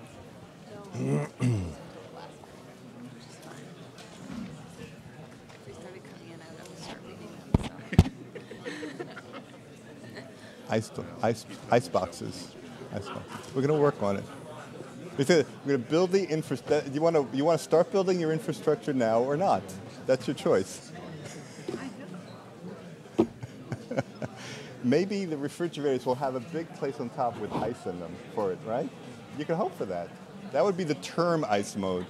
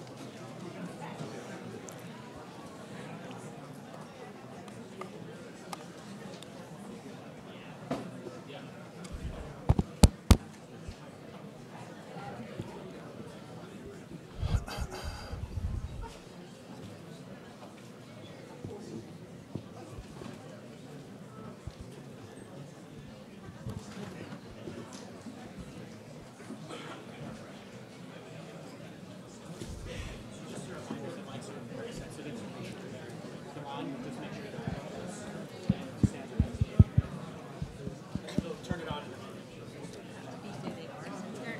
He said they're not very sensitive, so make sure it's close enough to. All right. So. They're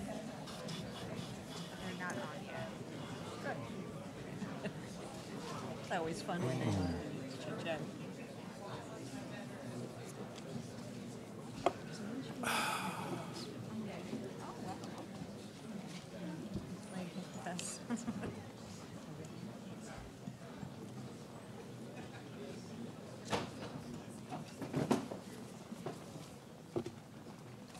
Okay, okay, very good. Uh, thank you all. So, um, uh, for those of you who are the uh, math wonks, the highlight of the morning was no doubtedly David's uh, portion of the presentation. Uh, for the rest of us, uh, this is the moment you've been waiting for.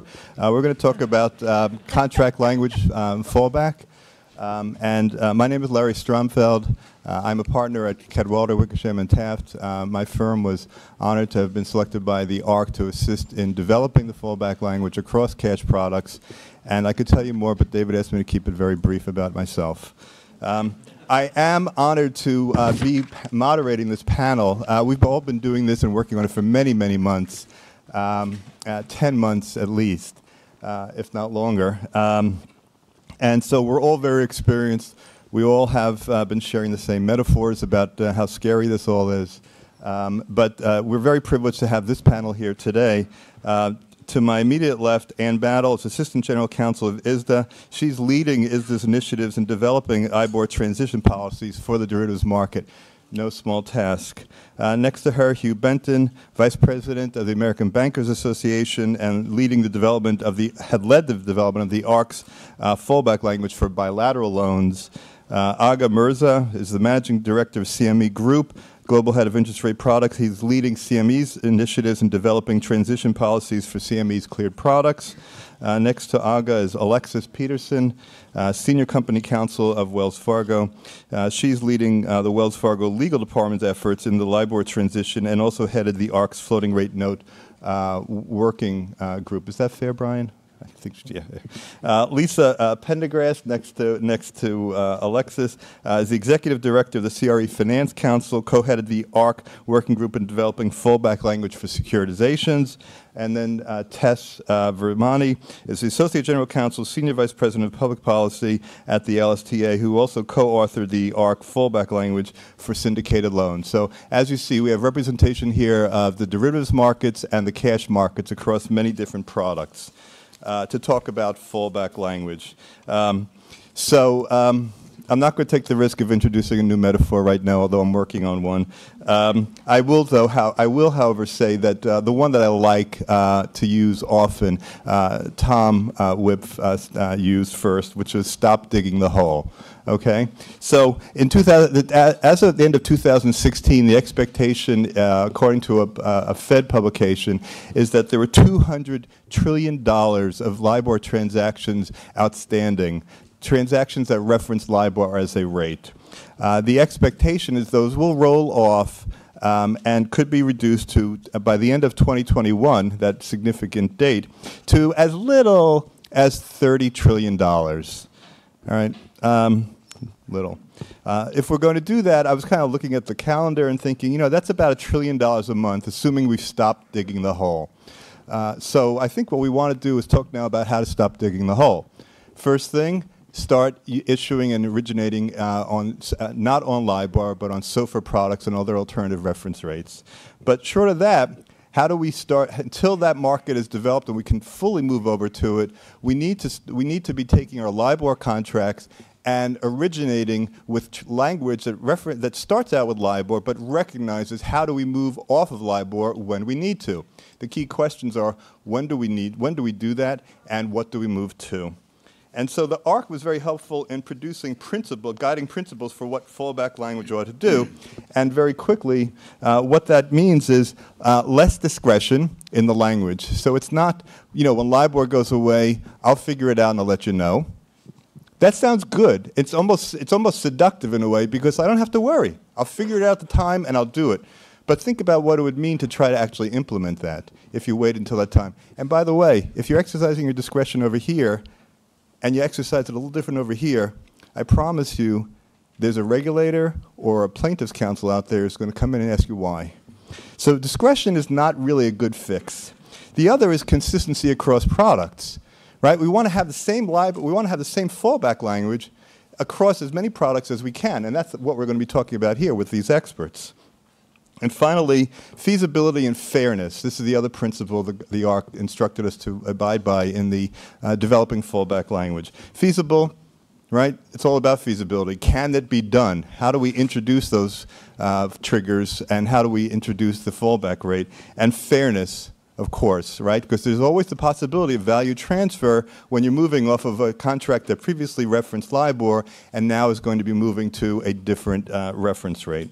So, with those goals in mind, we set out with many working groups to develop uh, fallback language for contract, new issuances of contracts that uh, initially reference LIBOR. And we're going to start by turning to uh, Ann Battle of ISDA to tell us uh, how ISDA has been approaching this. Ann? Thanks, Larry. Oops, sorry. There we go. Um, so ISDA began work on updating our standard definitions that are used in interest rate derivatives to include more robust fallbacks at the request of the FSB OSSG, or Official Sector Steering Group, in the middle of 2016. Um, that work obviously became much more important, or at least much more time sensitive, in the middle of 2017 when the world learned about the uncertain future of LIBOR in particular. Um, today I'm going to focus primarily on fallbacks for US dollar LIBOR, but our work does cover LIBOR and the other four currencies, as well as a number of similar interest rate benchmarks. After determining relatively early on that the fallback rates should be the rates that either were or would be identified by the relevant public-private sector steering groups, such as the ARRC, um, it became very apparent that there would need to be some sort of adjustment that would apply to those rates if the fallbacks took effect. As we are all painfully aware, the risk-free rates, such as SOFR, are inherently different than um, the IBORs, such as LIBOR. And so we worked on that within our working groups throughout 2016 and 2017, but then ultimately determined that that adjustment that would apply if the fallbacks take effect is such a critical um, calculation that it was important for ISDA to gather feedback beyond its membership and in some cases beyond just derivatives market participants. And so last year, we launched a consultation on how those adjustments should be calculated that applied to LIBOR and a number of currencies other than US dollar LIBOR and a couple of other IBORs. Um, that consultation also asked preliminary questions about whether the adjustments selected out of that consultation should apply to US dollar LIBOR. Um, so I'm going to spend a couple of minutes going through the results of that consultation and the preliminary feedback, which, um, you know, just to go straight to the end, the preliminary feedback was that the adjustments likely did make sense for US dollar LIBOR.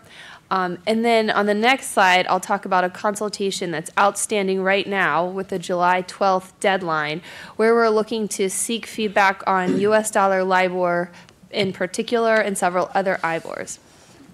Um, so for adjusting the risk-free rate, such as SOFR, to um, cover the differences in the term structure, as David laid out between SOFR and U.S. dollar LIBOR, um, the respondents to last year's consultation overwhelmingly, so over 90% of respondents, and we received responses um, in a number of jurisdictions, including the United States, from a number of different types of market participants. Over 90% of them um, preferred using a compounded in arrears.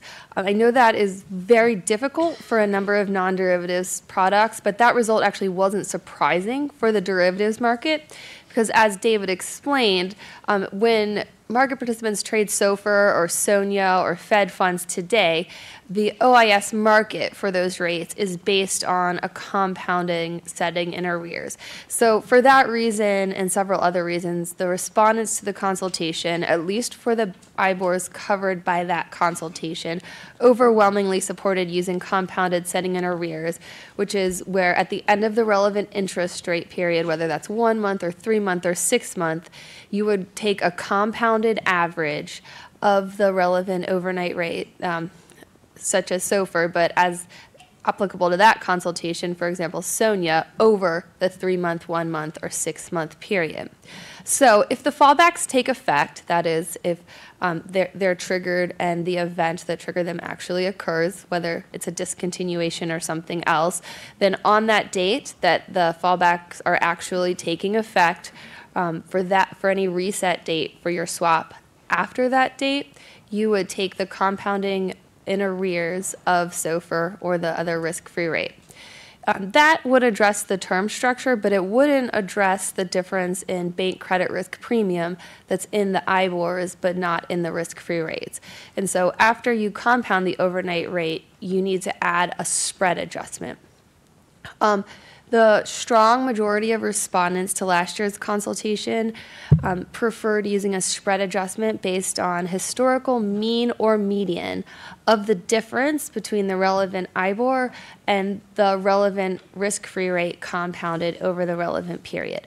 Now, how long you're going to go back to take that historical mean or median and whether you're going to use the mean or the median will remain subject to additional market feedback at the end of the summer but um, respondents generally um, thought that that made the most sense. It was the most robust to manipulation of all of the approaches on the table, and um, you can you can do a number of different things with it, um, whether you use a, a short look back period, a long look back period, some sort of variation on those. And I would encourage everyone to go to the link on this slide, which you'll be able to click once these slides are on the ARRC's website, um, to read about um, exactly how that spread adjustment would work and some of the feedback regarding the pros of that, uh, that approach versus some of the other approaches that were under consideration. Go to the next slide, Larry. So, as I mentioned, there's a consultation outstanding right now.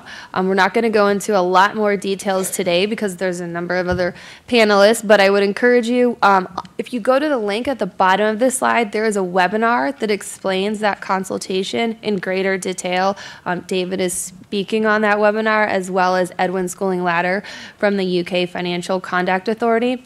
This consultation, the supplemental consultation that does cover US dollar LIBOR, as well as CDOR and HIBOR, and certain aspects of SOR, which is a interest rate benchmark in Singapore that uses US dollar LIBOR as an input and therefore would be impacted by a discontinuation of US dollar LIBOR. Again, is very similar to the 2018 consultation, but uses that consultation as a starting point because, as I mentioned earlier, preliminary feedback was that the preferences for last year's benchmarks did make sense for US dollar LIBOR um, specifically. And we also received feedback that it made sense to use the same adjustments across all of the IBORs that were implementing fallbacks for. So I encourage you to look at that consultation to respond to it.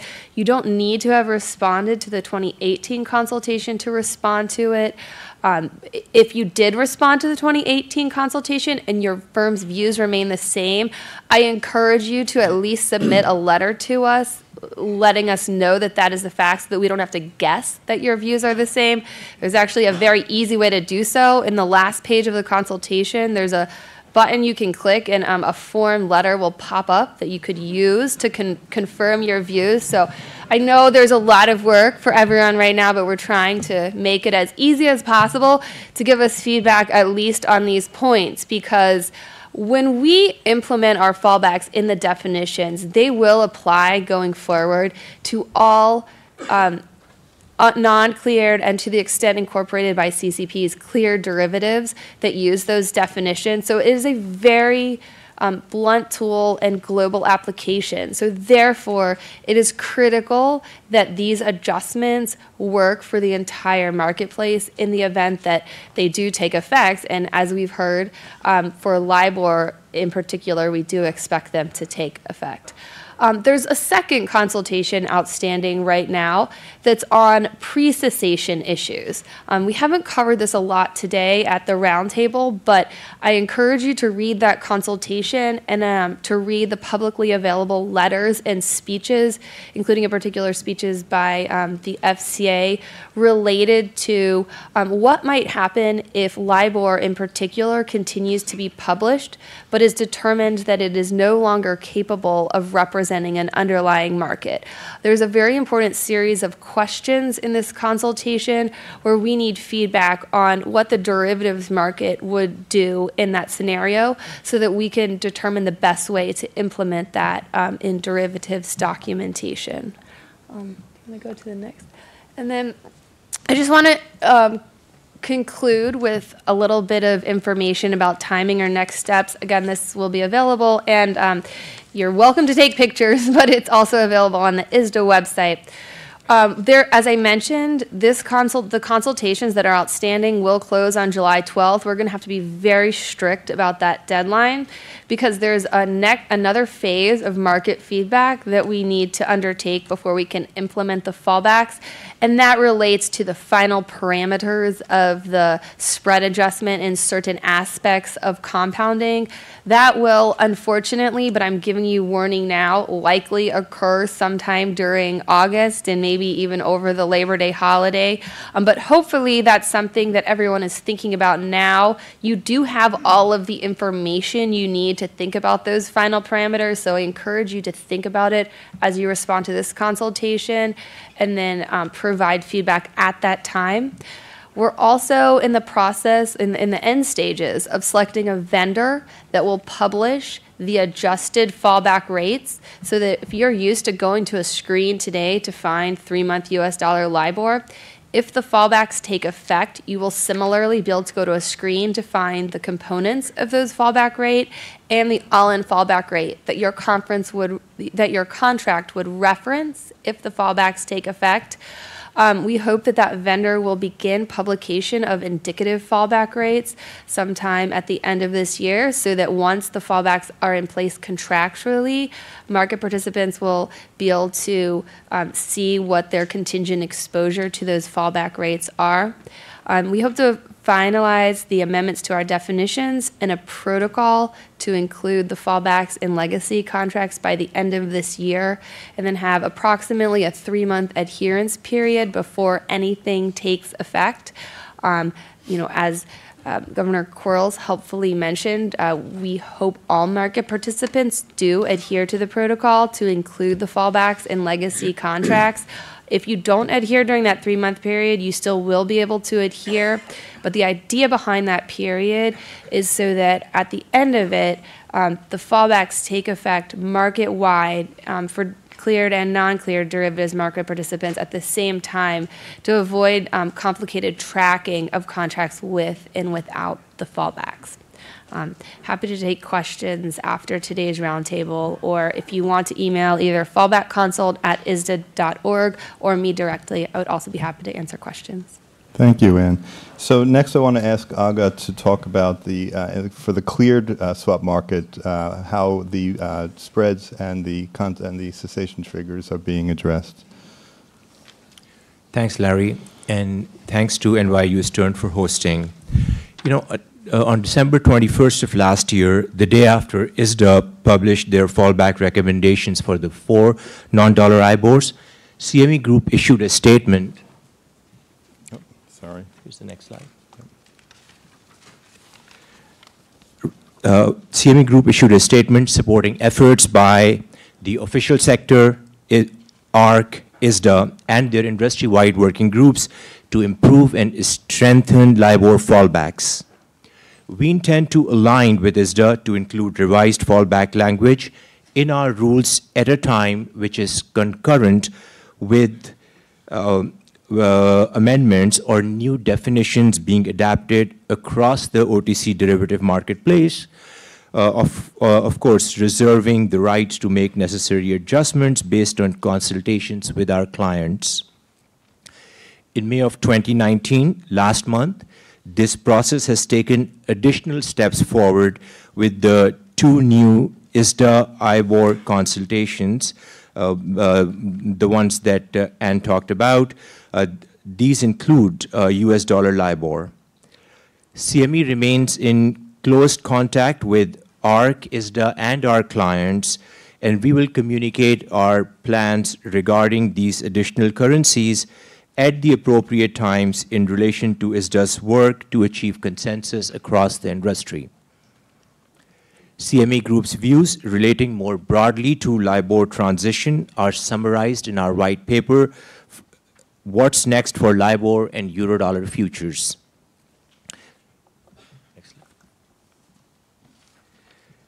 Today, the ARRC has asked me to uh, speak specifically about pre-cessation triggers and the potential for their inclusion in the recommended fallback language for derivatives.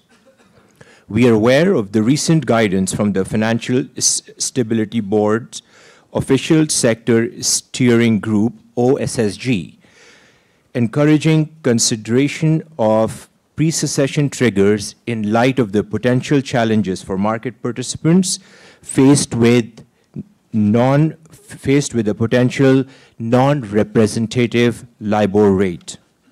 In this regard, we also thank ISDA for opening this issue up to the market for consultation. CME Group believes that a pre-cessation trigger for derivatives contract is a potentially useful addition to the derivatives fallback language, providing additional clarity, promoting alignment between cleared and uncleared derivatives market. We consider that it could provide a potential solution for market participants affected by the concerns identified by the OSSG regarding the use of non-representative rate. As acknowledged by ISDA in their pre-cessation trigger consultation paper issued last month on May 16th, CME communicated to ISDA and regulators that, subject to the detail and feedback of the consultation, we believe that market efficiencies could be achieved by alignment of how cleared derivatives operate with the pre-cessation trigger for fallbacks in non-cleared contracts with the if the 2006 ISDA definitions were to include such a trigger. We have also communicated to ISDA and regulators that pre-cessation events may trigger or prompt us to use our discretion to use an alternative reference rate if, for example, LIBOR was found to be non-representative by its regulator. Ultimately, CME Group believes that it is in the best interest of the marketplace to have consistency of approach in both triggers and fallback methodology between clear derivatives and ISDA's recommendations for fallbacks, to the extent this is possible and supported by our clients. CME Group operates several DCMs listing affected futures and options contracts, and also CME Clearing, our registered DCO, which has been deemed systemically important by the U.S. Financial Stability Oversight Council and which clears listed and swap contracts referencing LIBOR rates. We believe that alignment of both triggers and fallback language, where possible, between bilateral and clear derivatives will help to mitigate potential systemic disruptions and to facilitate orderly markets in the affected products including those operated and cleared by CME Group. Thanks, Larry. Thank you, Agha. So we've just heard some of the challenges that are facing the differences between how to move off of LIBOR in the in the non-cleared and cleared swap uh, markets. And now I'm going to turn over to Alexis, who's going to start to talk about uh, how fallback language is being introduced to the cash markets, and in particular with the uh, floating rate notes. Thank you, Larry. So, as you heard from Vice Chairman Quarles, it would be best not to rely on fallback language at all, and instead to enter into products that reference SOFR. However, um, since products do continue to use LIBOR, there was a consensus at the ARRC that more robust and consistent LIBOR fallback language was needed across cash products to reduce market disruption. The ARRC proceeded to issue guiding principles and then last fall launched four market wide consultations on fallback language for floating rate notes, syndicated loans, bilateral business loans, and securitizations. After reviewing all of the feedback from those consultations and discussing the issues further, the ARRC has now published recommended fallback provisions for those cash products as well as related commentary and users' guides that are on its website.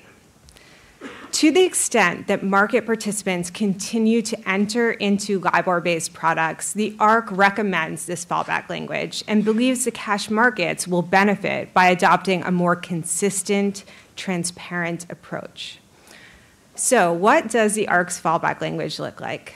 The fallback language has clearly defined trigger events a successor rate and an adjustment to the successor rate to make it closer to what the parties originally intended. In addition, the fallback language expressly allows for conforming administrative changes that might be needed to account for the move from LIBOR to the successor rate. So now I will speak about the ARRC's fallback language at a high level for floating rate notes. And specifically, I'll start off with the triggers. Thank you, Larry. There are three trigger events in the ARRC's fallback language for FRNs. The first two triggers require the permanent discontinuation of LIBOR, and they align with the triggers that ISDA intends to use in its definitions. The third trigger event would occur upon a public statement by the FCA that LIBOR is no longer capable of representing underlying markets. And if this announcement is made, LIBOR could continue to be published. As you heard from Anne, ISDA is consulting on whether to include this trigger in its definitions. Okay, we can go to the next slide. So now I will speak about the floating rate note fallback language waterfall of benchmark replacements. The way that the waterfall works is that the issuer or another designated party would look at whether the successor rate set forth at the very top of the waterfall is available. And if that can be determined, that will be the fallback that is implemented. But if it's not, then one would move down to the next step in the waterfall and so forth. So the first step in the waterfall is a forward-looking term SOFR endorsed by the relevant governmental body, which may be the ARRC plus an adjustment. But it's important to note a few things about this step number one. First, forward-looking term SOFR, as you heard from Tom Wipf today, does not exist, and there's no guarantee that the ARRC will see a robust rate that it can recommend prior to the discontinuation of LIBOR. Second, derivatives will not fall back to the forward-looking term rate and the ARRC has specifically stated in the related commentary that removing this first step for greater alignment with swaps is acceptable. And third, while the market did support a forward-looking term SOFR as the optimal fallback for products that were originally written referencing LIBOR, the ARRC does not recommend, I would like to emphasize, that you wait on the sidelines until forward-looking term SOFR exists to begin using SOFR in cash products. Okay, the second step in the waterfall is compounded SOFR plus an adjustment. Compounded SOFR would be created by calculating the compounded average of daily SOFR rates during the interest period. The ARRC's language actually allows for the conventions of this rate that David discussed to be set in the future based on either a recommendation from the ARRC or market practice. However, for floating rate notes, this rate will be set in arrears, meaning near the end of the interest period. The ARRC specifically notes in the commentary that compounded SOFR, however, may be replaced by a simple average of SOFR for operational ease. The next three steps in this waterfall are intended to ensure the contract has a robust fallback provision even after LIBOR has been replaced by a version of SOFR pursuant to one of the first two steps. So they are addressing the remote possibility that SOFR is discontinued during the life of this contract. The third step is a rate recommended by the relevant governmental body as the fallback for SOFR, plus an adjustment. The fourth step in the waterfall looks to the fallback rate for SOFR in the ISDA definitions at the time the fallback is activated, plus an adjustment. Based on consultation feedback, the ARRC decided to leave room for changes in the future to the ISDA definitions rather than hardwiring the fallbacks for SOFR that are in the ISDA definitions today. And finally, if all else fails, one would use an adjusted rate selected by the issuer or its designee, giving due consideration to any industry accepted practice at that time. So I mentioned that there's an adjustment to each fallback rate at every step of this waterfall. And the ARRC's FRN language actually has a waterfall for the adjustment itself. And I'll now give you a high level overview of that waterfall. The top of this benchmark replacement adjustment waterfall is a spread adjustment recommended by the relevant governmental body for the applicable fallback rate. If the ARRC recommends forward-looking term SOFR as the fallback for cash products, it will also recommend a spread adjustment for term SOFR. The next step is a spread adjustment set forth in the ISDA definitions for derivatives. And the bottom of this waterfall is an adjustment selected by the issuer or its designee, giving due consideration to any industry accepted practice at that time. Okay, last one. Um, I'd like to highlight a few key issues. So floating rate note fallbacks include a pre-cessation trigger. And as you heard, ISDA is consulting on whether to add this trigger. That could lead to a mismatch between notes and derivatives if ISDA does not include the pre-cessation trigger. I encourage you to respond to the ISDA consultation. Second, the primary fallback rate. I will highlight again that the first fallback in the ARRC's language is to a forward-looking term SOFR plus an adjustment, which will not be the fallback for derivatives. This is why modifications to remove the first step of the waterfall are explicitly allowed by the ARRC and noted in the user's guide. And finally, because floating rate notes can be long dated and difficult to amend, the fallback provisions for floating rate notes are hardwired, meaning that they don't require consents at the time they are activated.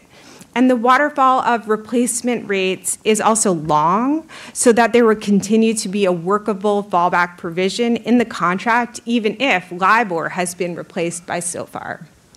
Um, there, there are actually other differences with the loans because they have two different approaches, but I will let my colleagues speak to that further. Thank you so much, Larry. Thank you, Alexis. So, uh, as Alexis was just saying, um, the, the, the, the, these provisions, these waterfalls, uh, exist because we're trying to we're trying to contractualize today what you will do in the future for circumstances that are not yet certain. Uh, so that's why we have a waterfall. The waterfall is essentially saying, let's look around at the time this occurs and figure out what we want to do. Um, and so the cash markets have a waterfall of what the, uh, of what the uh, priorities are for, or preferences are for what you would apply in terms of the rate and the spread.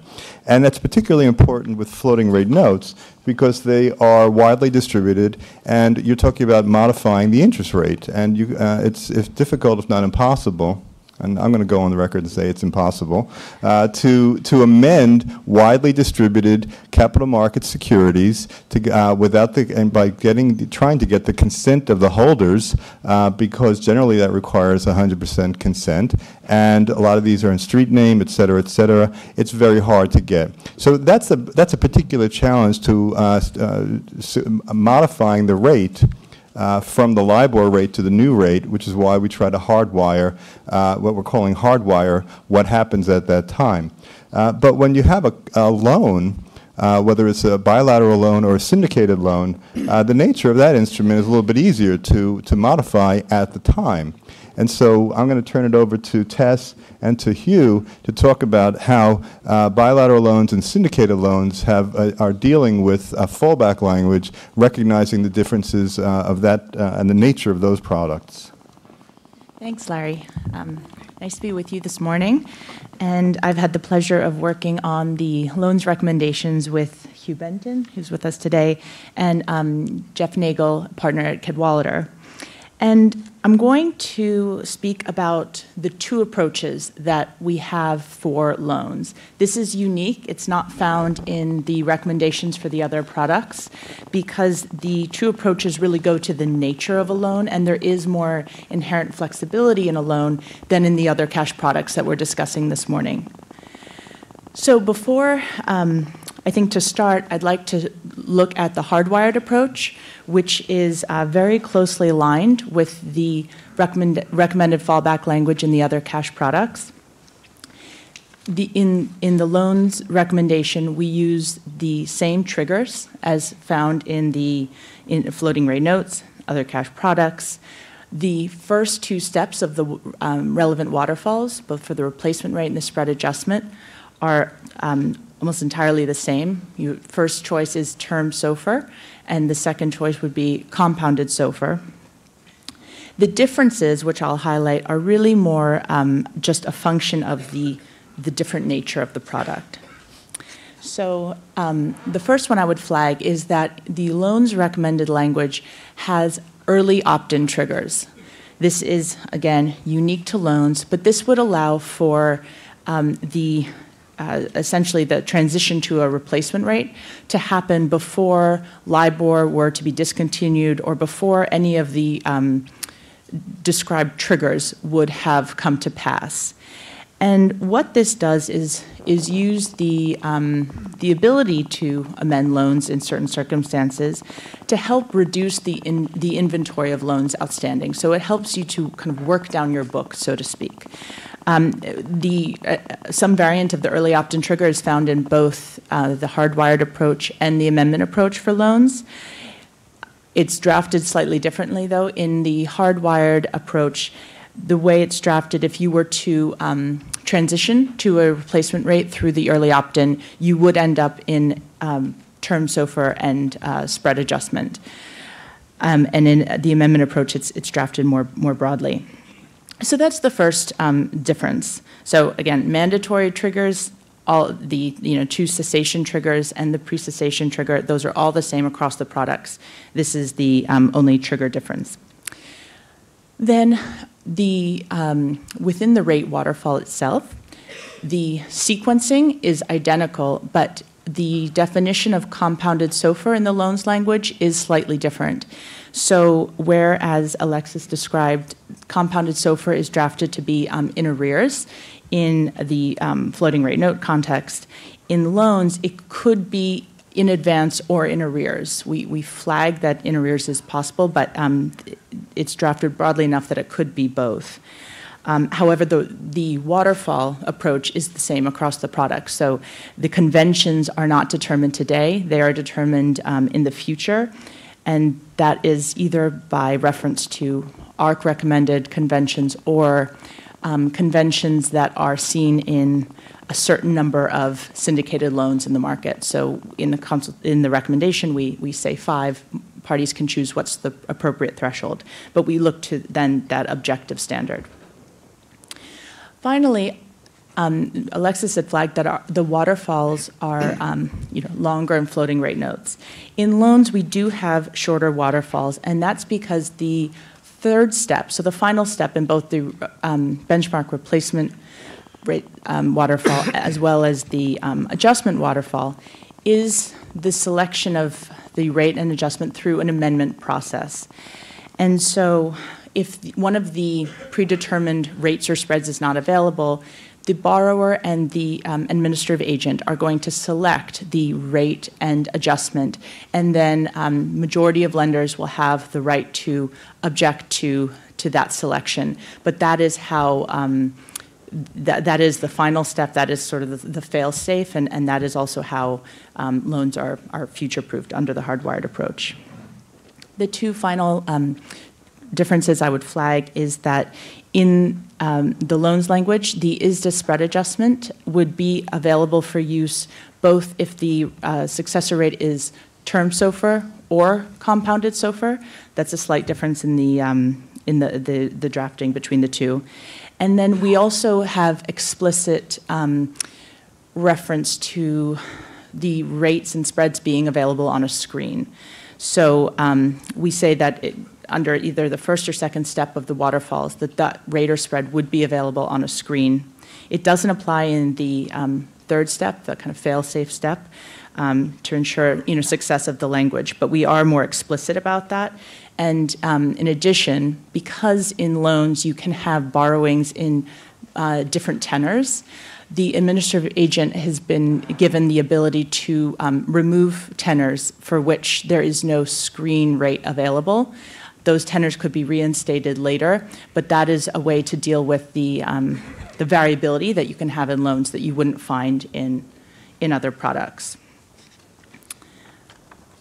So then, just looking at the amendment approach as um, an alternative, this is um, really a creature of what the market developed for itself, and then the um, our recommended language, I think, has several notable en enhancements to it. It is something that is really uniquely workable only for loans because of the structure of loans.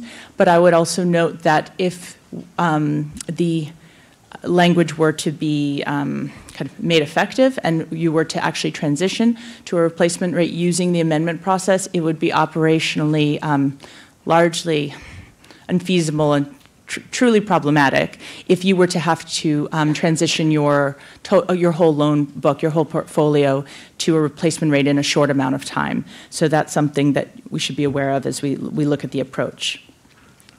Essentially, what it does is set forth a process for determining a, a replacement rate and spread adjustment in the future.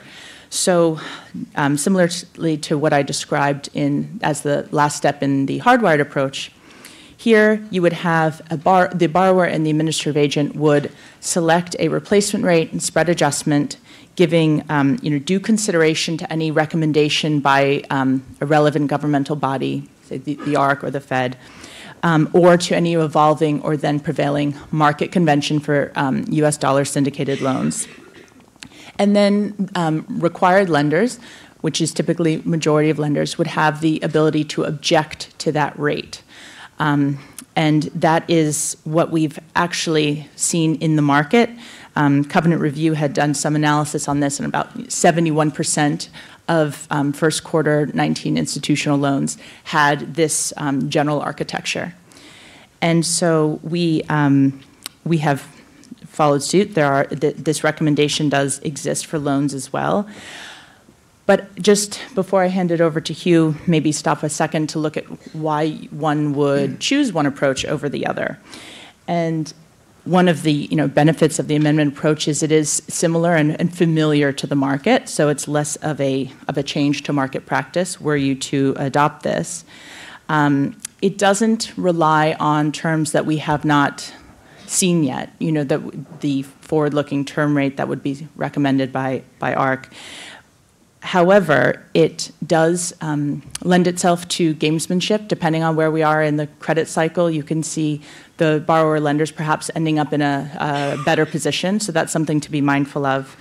Um, it could delay operational plans because you don't have a set rate that you'd be working towards.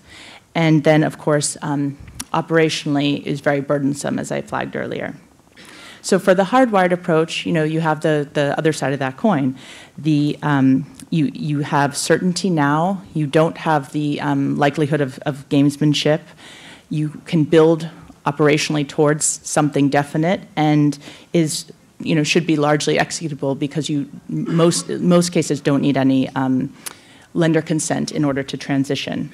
So this is just what um, to, to, think about when looking at the two approaches. I would also just um, end on the um, note that in the consultation feedback, even the proponents of the amendment approach did acknowledge that a hardwired approach did make sense for the loan market as well at, um, at a future time. So Hugh, maybe I'll hand it over to you to talk about bilaterals. Okay, thanks very much, Tess. And Larry, if you could advance to slide 15, please.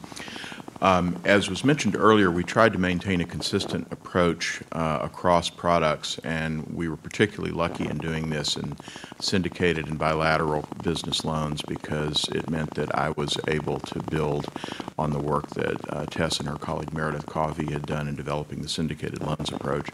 So in the bilateral loans approach, we maintain uh, the choice between an amendment and a hardwired approach, but there are some key differences I'll highlight especially uh, the rights of the borrower to give or withhold negative consent to the implementation of some of the provisions, such as the choice of an or the implementation of a new benchmark uh, or spread adjustment, and also whether the lender will have the right to exercise the early opt-in. The parties will have to decide whether the borrower uh, will have negative consent rights with respect to these provisions. And within the business loans working group, different members felt very strongly either that a choice should be made available or that a choice should not be made available. On the one hand, uh, those who wanted uh, fewer negative consent rights on the borrower's part were concerned about uh, implementing changes and benchmark conversions in a number of contracts simultaneously over a short period of time and the operational risk that that would create uh, if they had to deal bilaterally with borrowers uh, in uh, a number of different contracts. On the other hand, uh, some other lenders felt that it was important to give uh, their customers that right so that they would have a, a more clearer consensus in the transaction to transition to a new benchmark.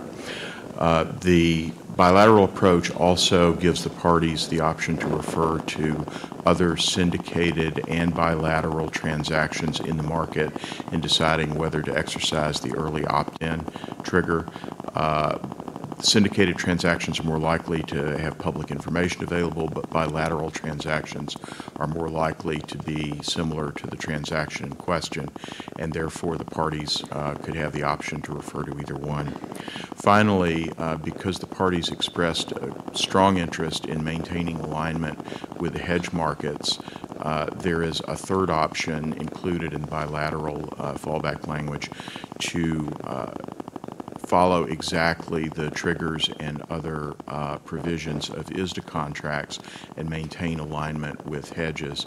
Uh, this uh, type of language, uh, while it could be extremely complex operationally, may have application to other kinds of uh, cash market transactions as well. And as long as people approach it thoughtfully and with understanding, uh, the working group believed it would be a useful tool. Thank you. Thank you, Hu. Okay, so we heard about the challenges that uh, exist and how we're approaching these uh, with fallback language for each particular type of uh, product um, and uh, trying to recognize the nature of that product. We've also heard about the challenges that exist between products. Now, Lisa's going to bring it home for us because in securitizations, they have all of that. Uh, you've got uh, you've got challenges and uh, securitization. You've got the asset, and you also have the liability. And um, how are we going to deal with uh, with the fallback language when we have when we're dealing with uh, two different levels? So, Lisa, take us home. Great, thank you, Larry. Um, yes, so the asset liability issue is certainly one um, that we would consider. The other is the multiple asset classes. Uh, so oftentimes what we had to do during our conversations with our working groups was step back, take a sort of a larger approach um, to what we can do. Um, and then I think at some point the individual markets will develop and fill in those things that are particular to their market. But we've set up, I think, a, a decent regime where they can follow sort of the uh, sort of hardwired approach, if you will, um, and and it works. I think there's lots of things to work out again during in the individual asset classes is a, somewhat of a concern, but I think the structure is right. We've worked a good amount um, on trying to uh, to make it amenable to all of the various asset classes. So just to start, the securitization triggers, we originally had six. We now have four. Two of the same um, cessation triggers as the other working groups have. Um, we also have adopted the pre-cessation trigger um, that LIBOR is no longer representative. Of course, that does add a certain level of basis risk. It'll be interesting, and I too would ask everyone to please respond to um, Ann's consultation, ISDA's consultation um, on that front. Um, we also have a, a, fourth trigger that is very much a, a securitization specific trigger. So it really looks to the assets relative to the liabilities. So when more than 50% of your assets are referring to something other than LIBOR, that is your trigger um, to move. So that's a, a particular asset um, or trigger that I think um, our members were very um, eager to see in this uh, in this process. Glad to have it. Actually, it took a, a good amount of negotiation. Um, on the benchmark replacement rate waterfall, um, not a significant difference. Term SOFR and spread adjustment, you know, is the first. Compounded SOFR is the second. We had significant difficulties in determining how to compound. Um, I, I, think that almost everyone in our on our group, and they were over uh, 100, uh, were of the view that they would have preferred compounded in arrears. Um, however, there were significant operational challenges to that. We went back and forth for quite some time um, and ultimately determined that we were going to leave it to the designated transaction rep to determine which best, which is best in terms of a compounding. So it could be simple, it could be in, uh, in arrears, it could be in advance. Um, and again, that was something that took a good amount of negotiation, um, but we did get there, and it, and it does allow for some flexibility. Um, as we know, ISDA's using compounded in arrears, um, not term. And, and, at the end of the day, our, our, members were very much focused on they want a term rate. Um, and it was sort of like, no, you can't have that piece of candy because you know dinner time. But it was, it, but it was, it was generally um, sort of a process where we moved, okay, understand that so, the term rate may not be available, so what's the next best step? Compounding in arrears was generally the, the view. However, after much negotiation, it was determined that, you know, we probably could use that flexibility, particularly given the number of asset classes and, and the views that we had amongst our members. Um, The other is, you know, just the ARRC selected replacement spread, the ISDA's st- selected replacement spread. And then also we have at the end, our step five in this waterfall would be that the designated transaction rep, the DTR, um, selects the replacement and the spread. Um, And again, following somewhat market con- um, conventions. One other thing that we had talked about um, a good amount was the whole idea of retesting. Um, So we had a a longer waterfall at one point. Um, It is now at uh, step five. Um, However, what we decided to do was to inject an opportunity to retest as to what's best available. Again, most everyone would want it, everyone would want to see term SOFR. So the fact that we allow now them, once they get to step two, which is compounding, um, they're allowed to go back and retest every period to see if term SOFR is in fact available. Um, And, and this is something that, you know, there's always a tension between the trustees, servicers, those who have to actually go back and retest, um, and the potential legal issues that you could, that could arise from that. Right now, it seems like a sensible way to go, particularly given the fact that we know that at some point there will be a term SOFR, and, and it may be nice to have that in there. So that's sort of where we went on that. Um, the benchmark replacement spread, there really isn't uh, anything different in ours than there is in the other products. Um, Again, at the, the last uh, step, however, would be that that designated transaction rep um, can choose the applicable benchmark uh, replacement, so, um, or adjustment. So that's sort of the, the big pictures. I, I do think we added some conforming changes, um, allowing the, the, those who are the designated transaction rep to review and to do what's best and what's the norm in, the- in the, uh, in the marketplace. And then, again, the individual marketplaces, you know, there are probably 14 different core asset classes out there um, within securitizations. And so that may determine, that may vary from, from asset class to asset class. Um, So really with that, that's the, the most significant, um, you know, differences that I can highlight. Thank, thank you, Lisa, and I'm mindful of the time, so I won't be able to get to questions, but I want to thank you all very much and thank our panel.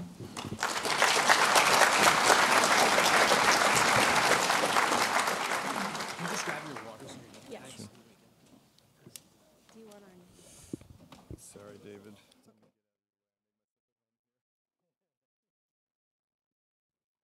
Okay, we have one more panel, um, which will, we're running about 15 minutes late, so we'll get you out about 12:15 rather than 12 o'clock.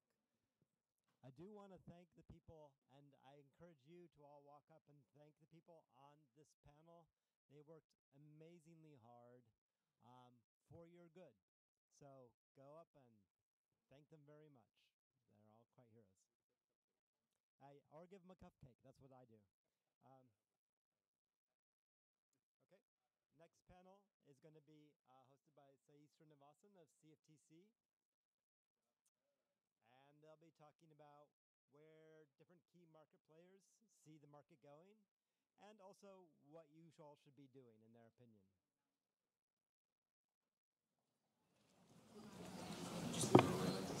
Want to give me half? All right. Doesn't matter. Whichever.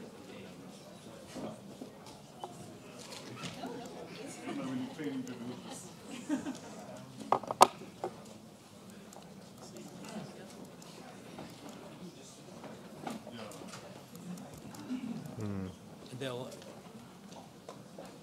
they'll, uh, they'll put the Okay. new one on if, like, if it can pause on the live feed right now. Okay. So much time to go have? 45 minutes. 45 minutes. Okay.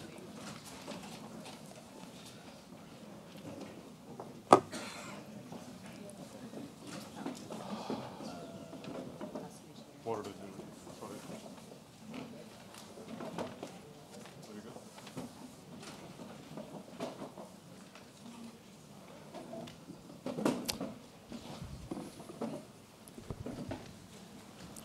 Um, So, uh, good afternoon. Uh, I think it's still good morning, I guess. Uh, Sai Srinivasan, uh, CFTC.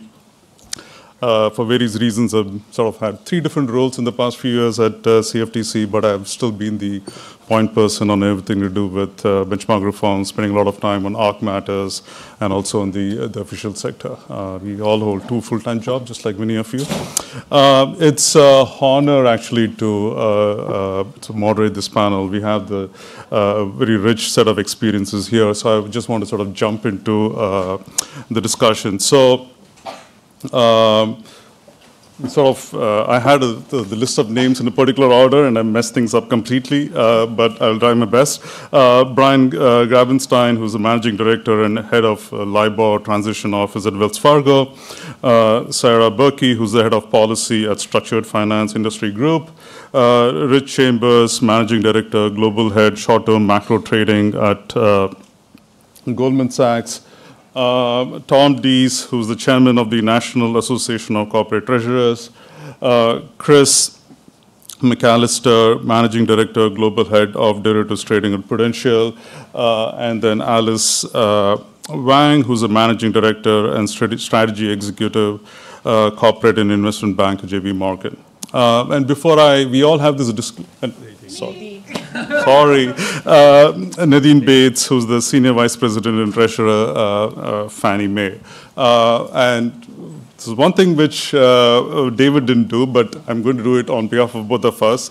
Uh, anything that we say is our personal views and doesn't represent the views of either the Fed or the CFTC. I don't know if you said that, but I thought I should do that. so for the record, we have the, the two disclaimers, I guess. Uh, so it's been, uh, you know, this is a good wrap up because you've heard a lot of the, a lot of work is happening on the, you heard the official sector's view. Uh, so I'm going to sort of uh, kick off with uh, first Rich and then if Chris, sort of sell side, buy side perspective. you know, where is the current derivatives markets? What's the current state? where are we headed? and if you can also talk about sort of the key uh, events which we're expecting to happen in the next 12 months, the ISDA protocol, and also uh, some of the, there was a reference to the PAI uh, discounting, sort of the Big Bang approach, some of the discussions that are happening. So Rich, if you can go first, and then Chris, if you can. Sure. Thank you very much, and uh, thank you for uh, ha uh, having us here. Um, the current derivatives market is liquid and active. Um, unfortunately, well, not unfortunately, but just in terms of the way it is, it, it, it's active and liquid in LIBOR space still. Um, to put into context, uh, based on SDR data, uh, since uh, the launch of the SOFR index, we've seen 6.2 million DV01 of OTC SOFR swaps trade uh, in the last year. Um, roughly two thirds of those have been outright fixed versus floating. Um, and the majority of, of, those have been within the the uh, you know short end zero zero to five years uh, in duration space. Um, you know, we have OTC derivatives, we have exchange traded derivatives. Um, you know, in terms of con uh, context, the, the open interest on SOFR, SOFR contracts on the exchange uh, comprise of roughly 5% of the total open interest of Fed funds contracts at the moment. So whilst this is a, obviously still in its infancy stage, uh, the liquefaction uh, is, is, is, is very much um, uh, uh, you know, step by step. And what, what I mean by step by step, it, it, you know, we, we, we have a lot of hurdles to get over uh, across the uh, investor commu- uh, investor based community. Um, the current uh, composition of, of, of, users in, in, in SOFR derivatives right now, uh, I would say, are very much the fast money community in the very, very short end. Um, they, you know, certainly uh, are, are a lot quicker to, to move over both from an infrastructure point of view, but also from an overall market standing, understanding point of view. Um, and then uh, beyond the two-year point, we have seen a lot of duration hedging uh, against issuance, um, but very little liquidity and very little uh, SOFR derivatives have traded beyond the 10-year point. Um, you know, it's just been some interdealer uh, bank-to-bank trades. Um, so the end user type um, derivative transactions uh, have not come to pass yet in, in, in the longer end of the curve the question is why is liquefaction um, uh, as slow as it is? Is it slow? I, you know, I think that the, there is a, there is a fair. Um, uh, there is a fair uh, divergence in terms of, uh, you know, uh, where we will, in terms of opinions, in terms of where we will be, we will be uh, looking looking back uh, 12 months ago to, to today. Um, there, there's still an element of inertia in the market. Uh, um, uh, you know, people are used to doing the same thing and to change uh, a costs money, uh, costs resources, and uh, there is um, there certain you know it's certainly uh, it, there's also an understanding element as well, uh, comfort with the index, comfort with the overall understanding of so, of the SOFR product. But clients and the and and uh, uh, or the, the, or the overall uh, client base are getting are getting more comfortable with SOFR. Uh, that that is for sure, and definitely uh, are getting a greater understanding of the index. Um, another major not major hurdle, but it's an ongoing hurdle in in the sell side is uh, the liquidity charge to execute a SOFR swap. Um, you know, you know, we still have uh, hugely liquid um, um, LIBOR-based products uh, that extend out to 30 years and even beyond in some cases, um, and uh, to to you know the to when when you have uh, a lot of stepping stones in place in terms of you know the the, the, the future of SOFR and uh, and the future of LIBOR, uh, our client base are just somewhat sitting on our hands uh, sitting on their hands, but um, and, and and just playing the waiting game right now. But what are the major stepping stones that will help liquefy SOFR? Um, obviously, is the fallback definition. Um, you know, you know, I, am a firm believer, uh, and and you know, I'm personally that once we um, uh, define what the fallback rate will be for derivative contracts, you will see all other bases in, in, in the dollar swaps market and, and other swap markets uh, converge to, to that pricing. Uh, and what that means is it will be a lot, lot easier for the sell side community to recycle risk and rehypothecate risk because there will be more, there will be a more defined clearing level for, for these bases. Um, the uh, PAI change uh, for of C CCPs, which is you know um, uh, we're, due to uh, um, have um, you know go through that in, in, in Q2 2020 uh, will you know after after day one it will create SOFR uh, derivatives risk for all active members in CCPs and that will organically help liquefy the product. Um, so they're the two major stepping stones uh, that will, you know, will you know help uh, more end user type clients uh, into the market and, and, and into the product. Um, they you know we we, we in terms of in terms of timeline uh, we feel that most of our clients are are, are waiting uh, until we get get through those events. Um, there's also the you know the other potential stepping stones that can that we can see you know like and that will definitely help uh, SOFR and help uh, help us uh, continue to liquefy it. You know if, you know in time if there is a definitive discontinuation date uh, of LIBOR, it will help.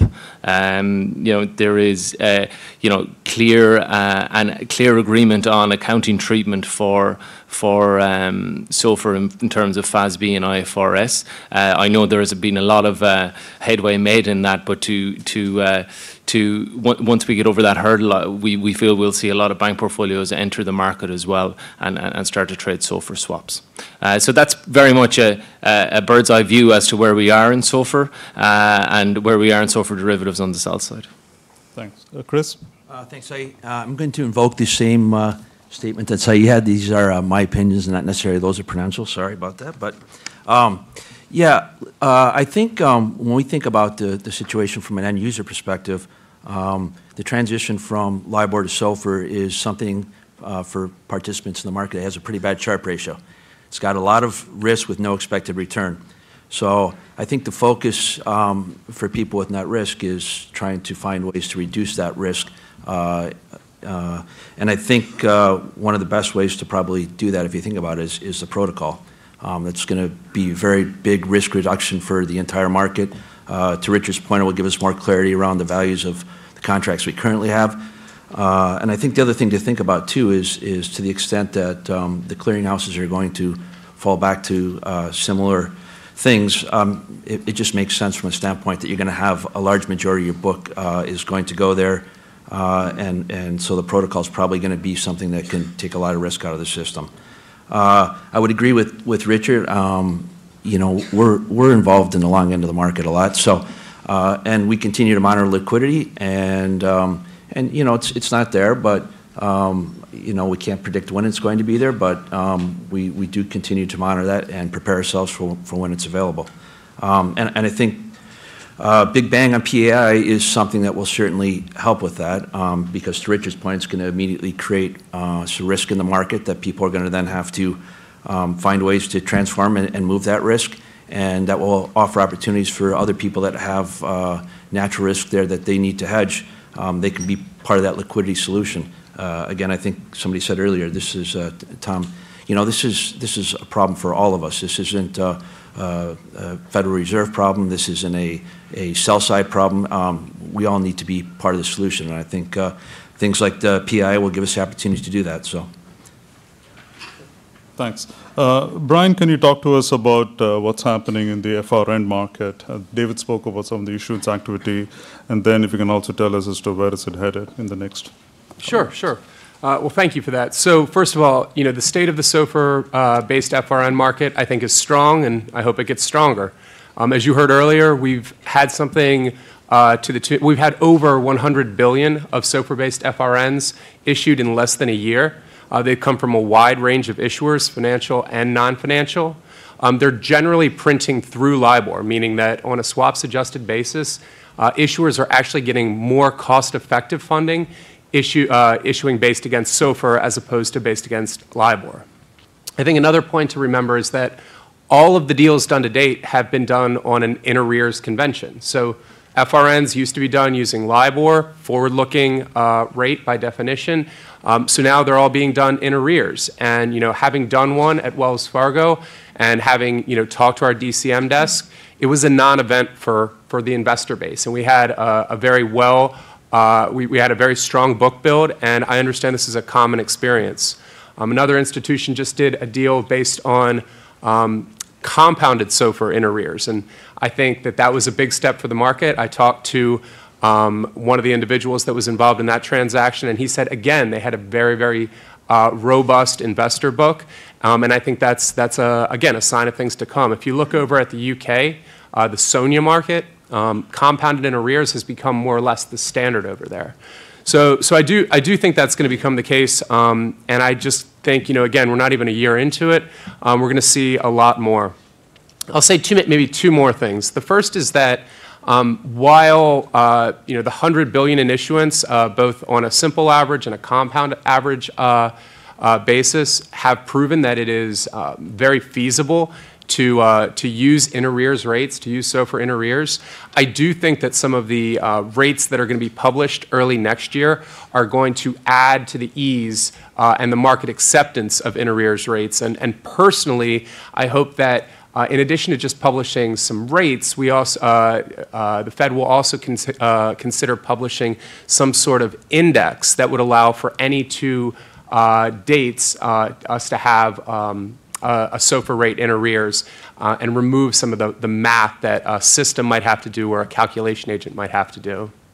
Um, the last point that I'd like to make is, you know, we, we heard an excellent panel before on fallbacks, and a year's worth of work went into devising what are um, very, very good, but at the same time, very, very complicated to some extent uh, mechanisms for transferring from LIBOR to SOFR. And so when I think about a product like uh, a floating rate note, which as Larry mentioned earlier, is, is functionally possible, impossible rather to amend, you know, I think as people focus more and more on um, you know, the inherent risk that's involved with a fallback, that more and more people, especially as we approach uh, the end of 2021, will conclude that you know, the best thing to do is to issue against SOFR, and we now have, have models to do that.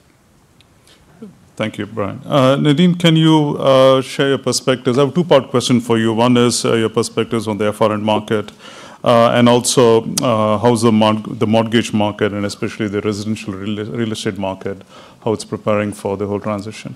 Sure, sure. So, um, you know, as Brian mentioned, um, you know, we're really pleased with um, the adoption of the SOFR-linked debt in the um, unsecured debt markets.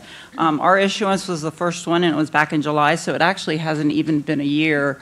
Um, it's only been about 10 months, and to have over 100 billion, I think that's tremendous progress in a very short period of time.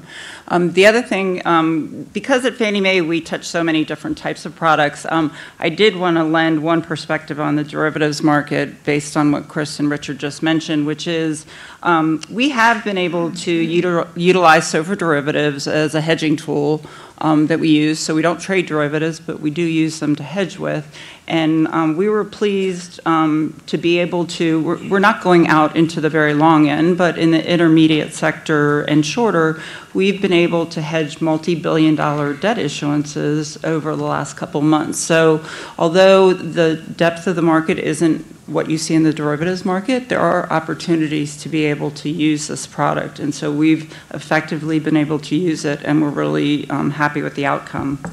Um, the other thing that's been talked a lot about today is the fallback language and triggers. And so at Fannie Mae over the last couple years, to the extent we could improve any of our disclosures, we've used those opportunities to do so. And so most recently, um, we adopted the ARRC's floating rate note LIBOR trigger and fallback language um, for some of our securities. Um, this was specifically for our REMIC securities and specifically CMOs. And so that just is basically June 1st is what that when that became effective. So I would really, really encourage um, market participants to review the final recommendation um, by product of the enhanced, enhanced language. Um, and if you deem it appropriate, use it. Um, we've found it to be um, very helpful in helping us think about um, some of the gaps that we've had in some of our past disclosures. Um, the other thing Obviously, none of this is easy. Um, what we're trying to do at Fannie Mae in the residential mortgage market is something that we did in the debt markets, which is to try to innovate with what we have today and not wait for what might be there in the future. So we talked to, we work collaboratively with FHFA, um, our regulator, Freddie Mac, and other mark, um, other ARRC members that are represented here today. And I think earlier it was mentioned that there's a new consumer products working group. Um, this working group is comprised of, um, it's got participation from lenders, servicers, consumer advocacy groups, investors, and the GSEs. Um, we're hoping in the next month or two, or, and I'll deem it this summer, that the consumer working group will circulate an outline of a potential new ARM product. Um, this product is going to be using the overnight SOFR rate that's already being published. Um, we hope that this new product could be an alternative to using LIBOR for um, new ARM loan origination. Um, ultimately, market participants are going to have to determine if the product or something similar is right for them, but we believe it's a great start in trying to innovate with what um, indices exist today and try to be creative so that we can kind of um, continue to make progress on using the SOFR rate. Thank you. Uh, so from a regulatory policy perspective, we tend to be pretty razor focused on the uh, on the needs of the of the end users. So um, David spoke at length of the sort of the differences between uh, LIBOR and SOFR in arrears and so on and so forth. So the question, Tom, uh, to you is uh, how are the corporates preparing? Um, and then you know you have this two and a half years, I guess. so if you can sort of share some perspectives.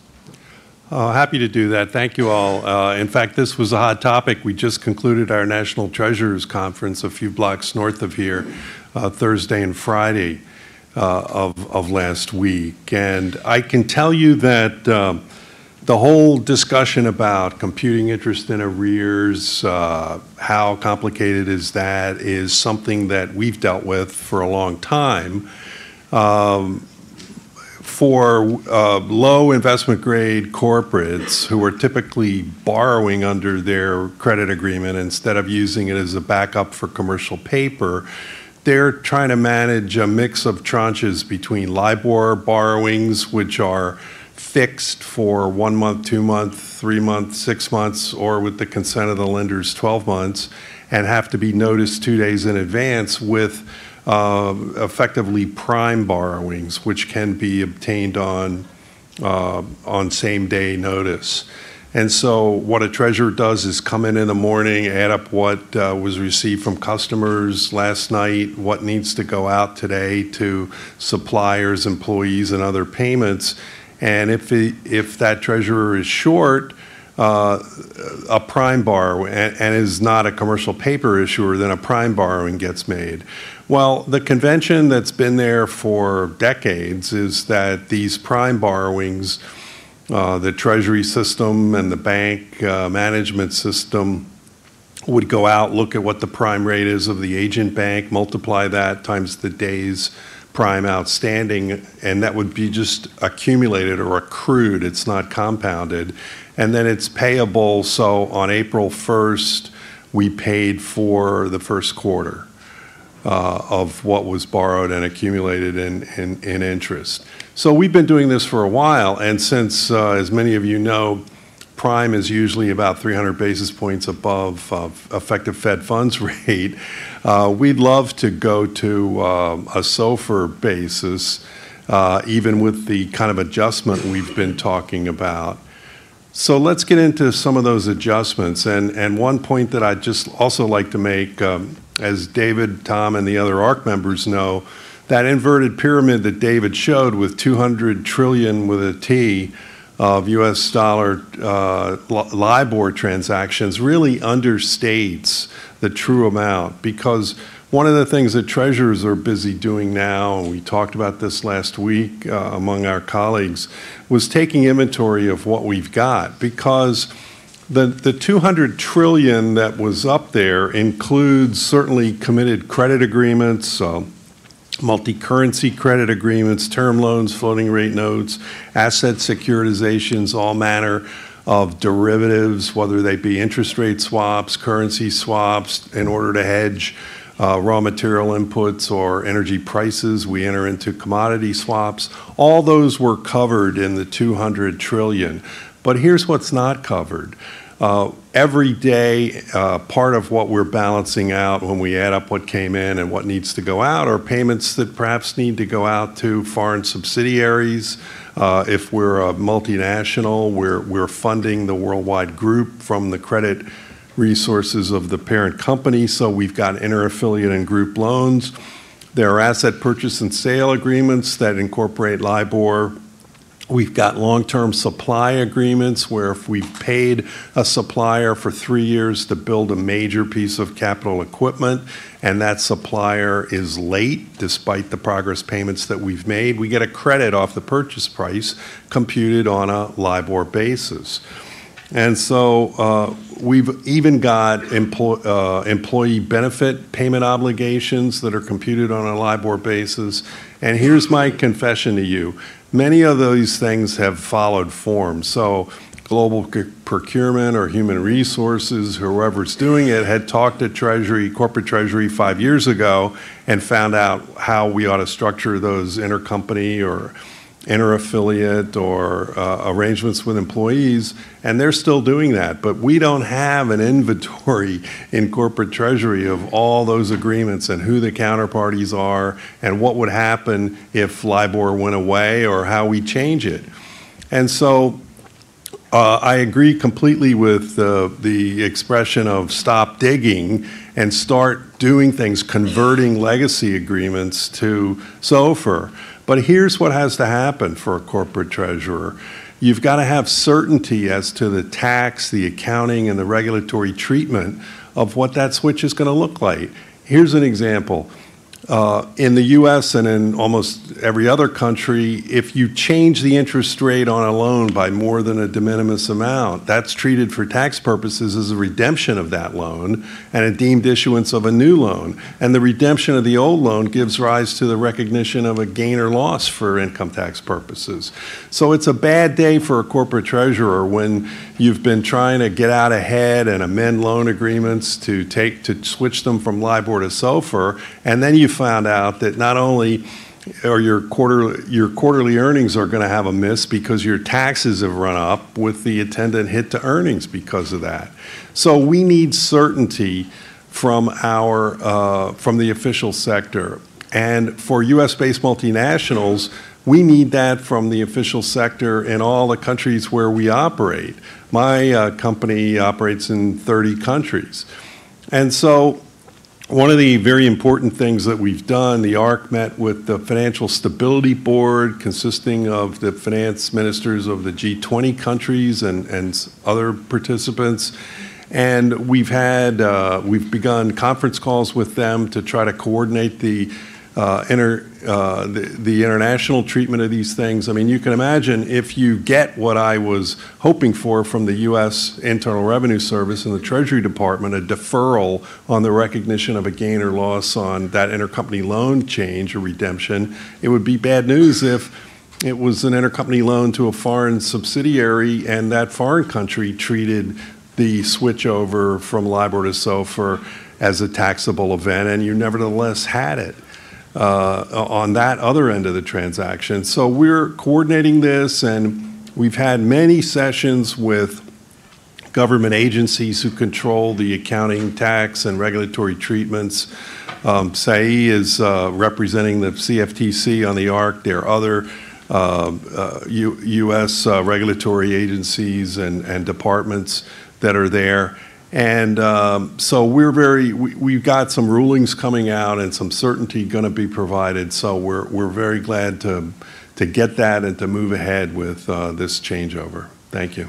Thank you, Tom. Uh, so we understand that the, uh, the, the, previous panel spoke about uh, some of the work that's happening in the context of the securitization markets. Uh, uh, Sairah, could you talk to us about some of the challenges as, as well as, you know, in particular, uh, how the participants in the ABS market preparing for the transition? every time I sat on one of the calls, I, just keep, keep, reminding that really hard to sort of amend some of these contracts. So how are the firms looking to mitigate the risks and challenges? Sure, thank you. Um, as Lisa and Larry had pointed out in the previous panel, securitization is particularly complicated and it's not going to be all that easy to um, move over to another benchmark. Um, you have the securities, you have the collateral underlying the securities, and then in many instances you also have derivatives providing hedging. Um, you know, someone had mentioned that ARRC is currently working on the Consumer Products Working Group fallback language, so the hope is that um, while that might need to be a little simpler, it will be as aligned as much as possible with the um, language that was just published for securitizations. And uh, I'll be the third person to uh, to urge people to respond to the ISDA consultation on the pre-cessation trigger because if we can have our triggers aligned, um, that would obviously be very beneficial. Um, in terms of preparation, uh, speaking with uh, several of our members, um, within SFIG, you know, we've noticed that some of the larger, more active members have set up really robust um, LIBOR transition offices that have been in place for at least a year. and they're you know they're they're looking to size their exposure across the organization, determine you know key touch points across various functions, um, accounting, tax, operations, capital markets, et cetera. Um, I think there are some smaller organizations that um, probably need to get going uh, fairly soon.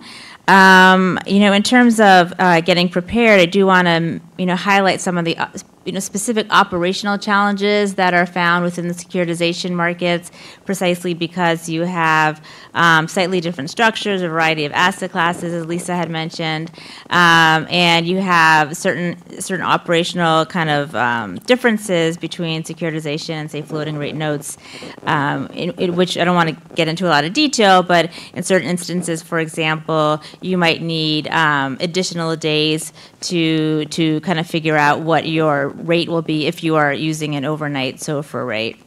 Um, so just a couple of, you know, a few obstacles the industry has to has to kind of work through.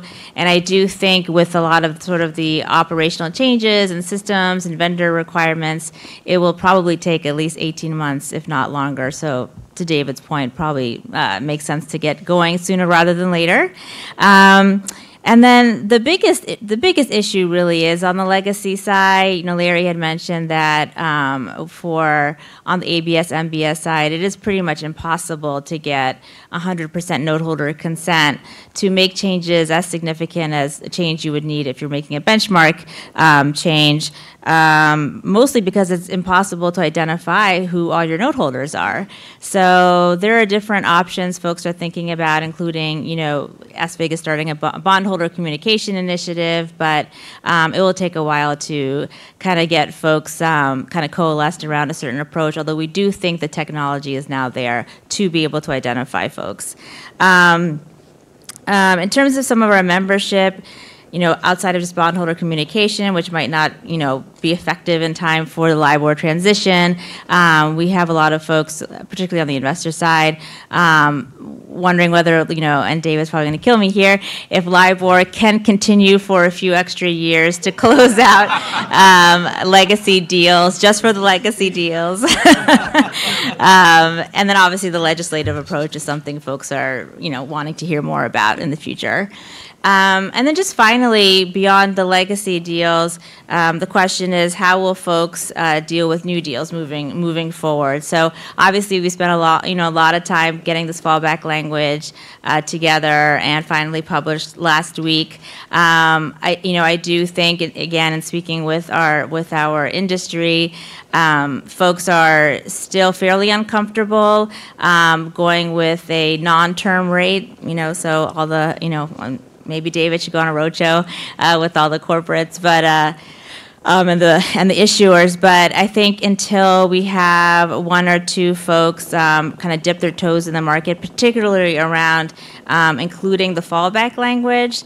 So even if they're not, if even if folks are not issuing in SOFR right away, to at least you know we hope that people do start in, you know incorporating the language for you know, new LIBOR deals.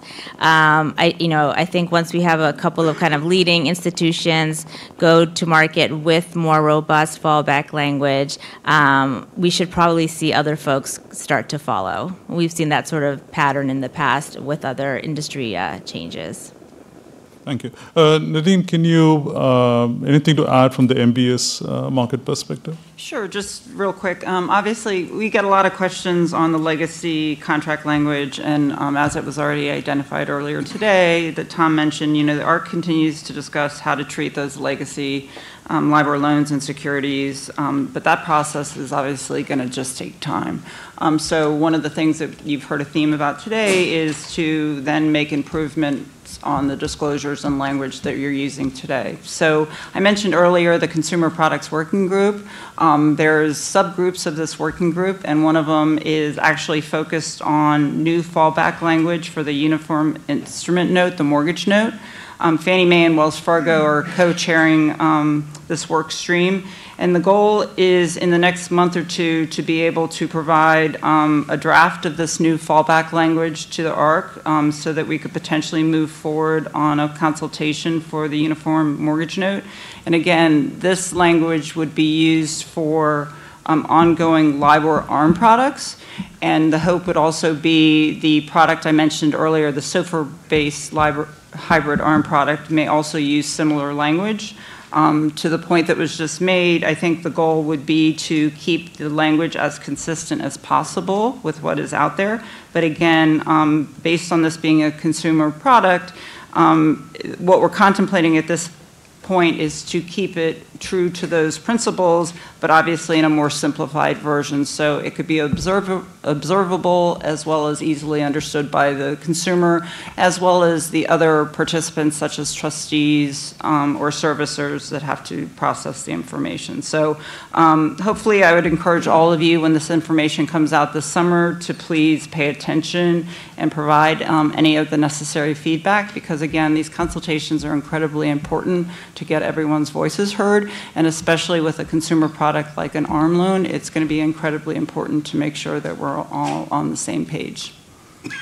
Thank you.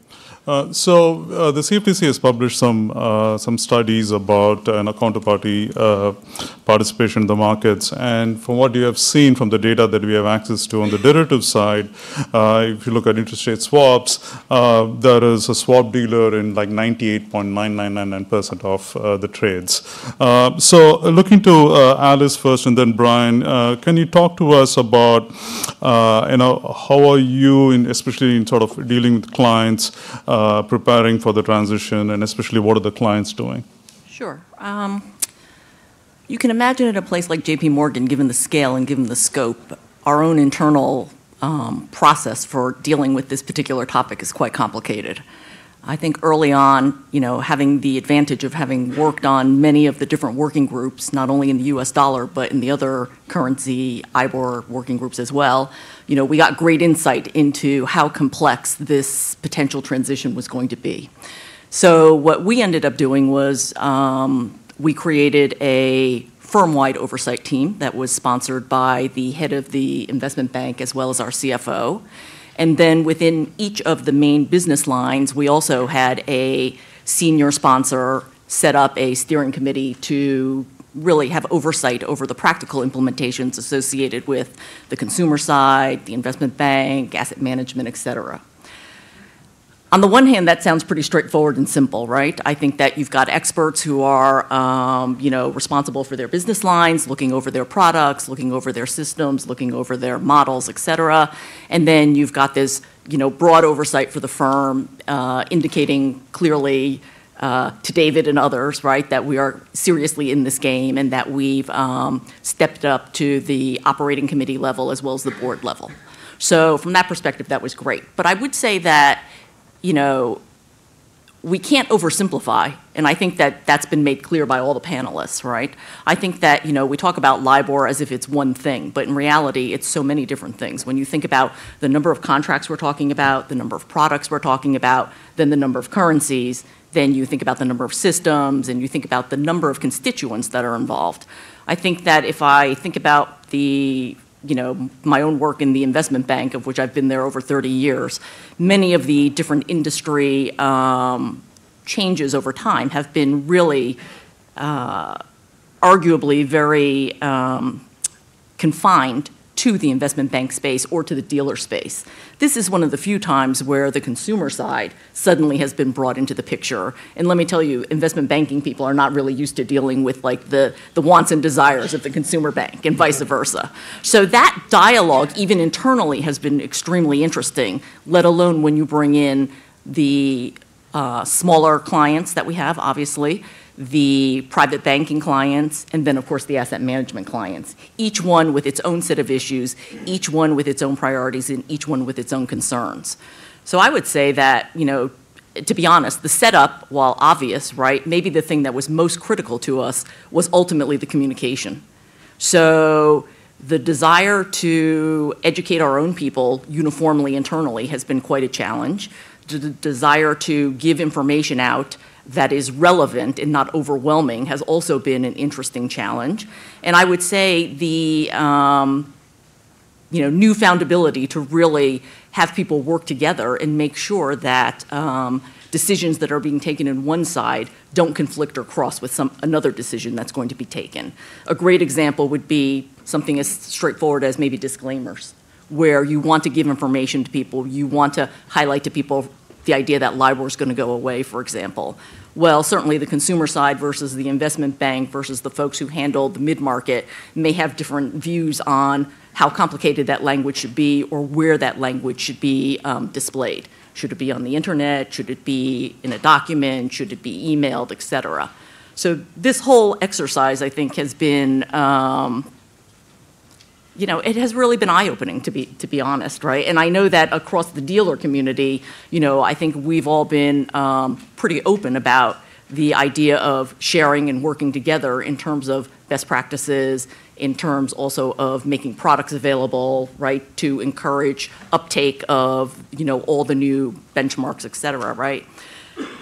But, you know, as with everything, right, this, it takes two sides, and this is another thing I think that has been quite complicated you know, while we've been busy educating our people internally, we have also recognized, right, given the wide variety of clients that we ultimately have, right? Education on the outward side is equally important. Even if we were to get everything um, set up internally, even if we had all our contracts lined up, even if we were about to amend all our contracts or sign up with the protocol, if the other side hasn't done it, it's not really that helpful. So I think ultimately, um, you know, one of the main things that we've also learned from sort of our own internal exercise is that we really have to communicate outward much more so than we've ever done. Education is paramount, and sharing, quite frankly, of information where possible is also critical.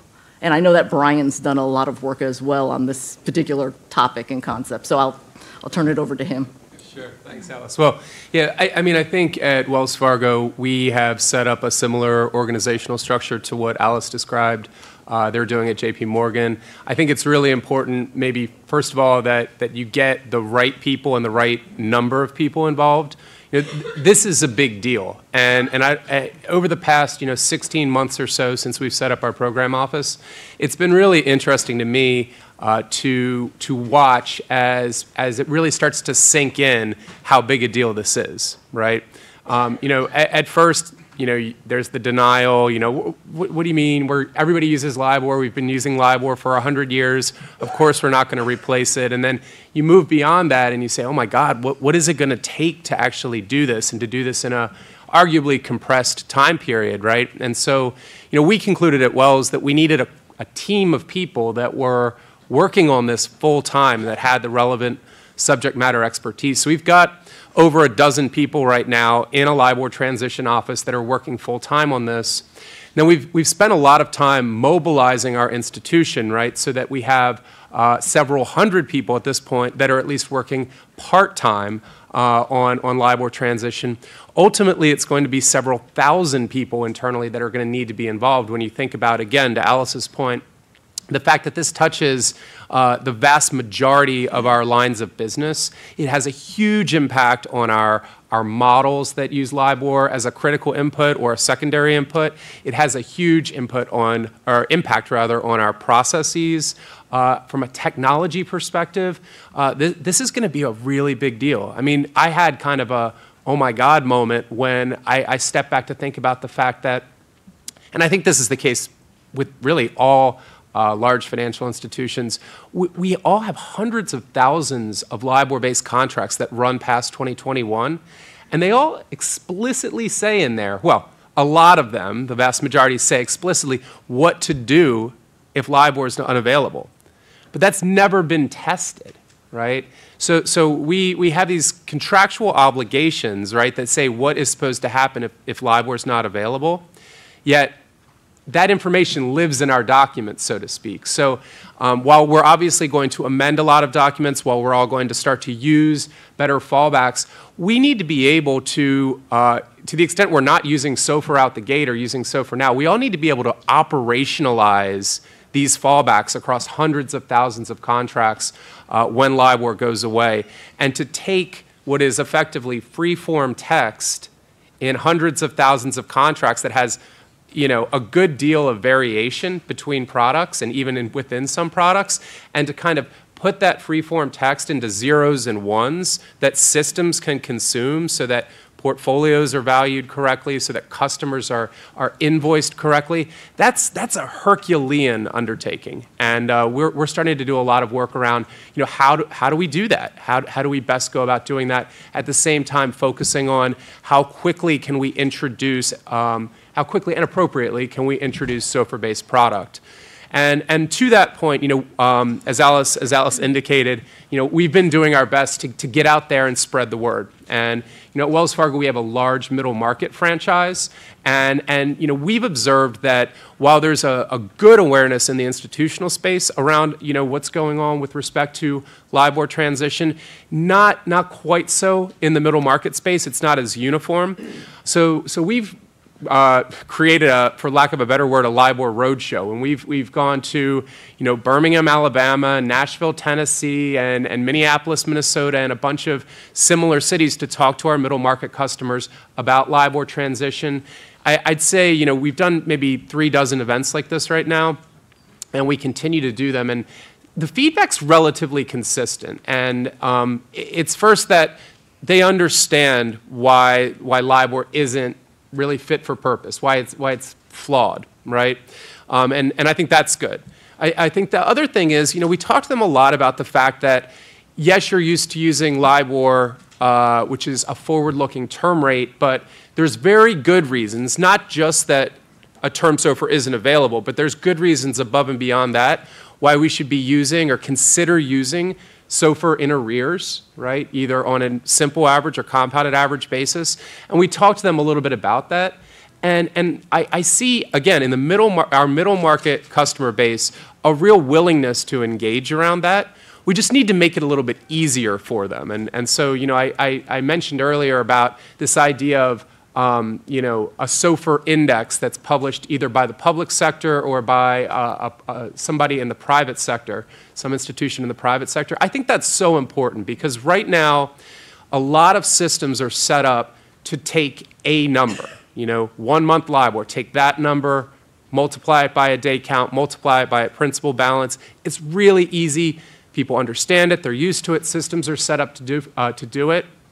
If you want to move to compounding, and, and you're not used to it and your system isn't set up for it, in order to do compounding, again, it's just math to David's point, but your system needs to consume, you know, dozens arguably of numbers and then do something with them. And it, and it needs to be really specific about what do you do to the margin? What do you do to the index? Do you compound them both? Do you compound one or the other? Do you treat weekends differently than you treat uh, uh, uh, business days right? Um, do you want to do it exactly the same as derivatives do, or, or, are there reasons to differentiate? And so I think if we can make it simpler to the point where there's an official SOFR-based index, right? And so with LIBOR, you're just grabbing one number, or your system is grabbing one number and dropping it in. Um, if you have an index where you could take really two numbers, right? The SOFR on one day and the SOFR on another day, and any two days, and really put one over the other and subtract one from it, I think that makes the transition that much easier. And so I think we're doing a lot at the ARRC to think about, you know, how do we make this transition easier? Because our customers, again, in the middle market space, when we talk to them, they're, they're, they're willing to engage around this. We just have to make it a little bit easier. And I think, I think you know, more to come on that. Rich, quickly. Yeah, thank you, Say.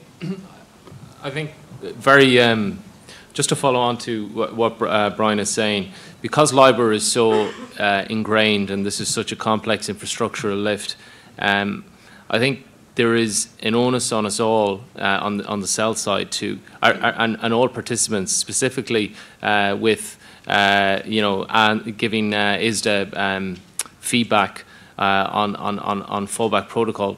It, there's an onus on us all, I think, to keep this as simple as possible because this is so complex. Um, and in terms of you know how we how we're going to calculate whether it be mean, median, uh, you know, time frame, etc. You know, for us to educate our uh, client base, um, simplification will help this process.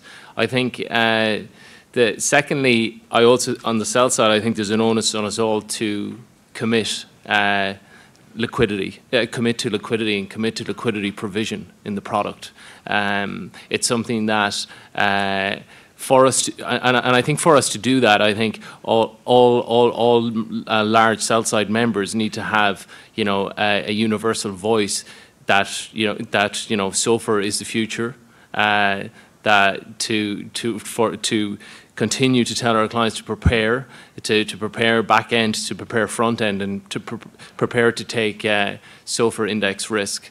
Um, but uh, but uh, but mo most importantly, yeah, um, you know, to, to, to lean in in a, in a, in a particularly tough. Uh, market environment, when you're at this inceptional stage, uh, it, it is quite difficult to, to provide large, large amounts of liquidity, but the onus is on the sell side to provide this which is something that you know we continue to try and do. Uh, Chris, uh, you want to educate us on what uh, the buy side is doing and how you're engaging with uh, the liquidity providers? Yeah, yeah, sure. Um, I, I, mean, you know, one, one thing just to start out is, you know, I can't predict when um, when LIBOR is going to go away, and I also can't predict when there's going to be liquidity throughout the curve. Um, one thing I take note of is that we are ahead of the original uh, PACE transition plan. So I have to have that uh, at the front of my mind. Um, what I can do is I can do things now uh, while time's on my side in things like uh, systems uh, and uh, education. So I think it's important to take this time now. Um, What does that involve? Absolutely, I think it's important to inventory your risks. I think as we've heard from a couple people here too, I think it's important to gather a, a, a key committee uh, with important people in there and, and to interact with those people because again, um, this is something new. Things aren't always so obvious. And um, so it's good to have those interactions. Uh, I say for ourselves, uh, two key things happened. Obviously, uh, back in uh, the summer of 2017, when uh, FCA's Bailey came out and gave us a date, the date was relevant to everyone. Um, I think the second thing uh, in the U.S. is when uh, the New York Fed started to produce a SOFR rate. Now, now we had a rate, and I would say that in my company, that is that gained a lot of traction with people throughout the company, uh, and that's when we started to form the committee and, gather the risk. But that certainly has been beneficial. Again, things aren't always so obvious when it goes to capturing all those risks. Um, I think another thing that people will want to think about is uh, if we think about uh, a lot of different transitions on the way, like for example, uh, the talk of Big Bang PAI. This could be happening at the same time as the uh, Phase 5 uh, initial margin phase-in. Uh, that's going to involve not only resources for your company, but it, it, it also requires resources for the entire market. So I think you, again, just another good reason to try to think ahead, start planning, start moving now. Um, we, we happen to have uh, put a couple, uh, a handful of trades through the, market, and most importantly, uh, the reason for doing that is, is to, again, test systems, test your operations, you know, accounting systems, things like that. So I would encourage you to, again, try to be part of the solution because it benefits you as well as the market. Um, Another thing that I think you've heard from everyone here, and I will tell you that engage on this topic. Um, and I will tell you that we've had tremendous success uh, with regulators, with uh, the, clearinghouses, uh, with banks, with other customers. Again, the more you can, and everyone in here is actually taking a step forward with that by attending this today. So, but I think there's a lot to be learned um, from others' experiences. And I think, again, this is a problem for the entire market, not for the sell side, not for the regulators. So it's important for us all to come together and, and learn from each other and, and move forward together. Um, and, and again, I, I think even if I think about the consultation, uh, if you haven't taken a look at the, the consultation, I will tell you for ourselves, just reading through the initial consultation, uh, that was educational and made us think about other things that we hadn't been thinking about before. Uh, and, and again, all of these people are really receptive to your ideas.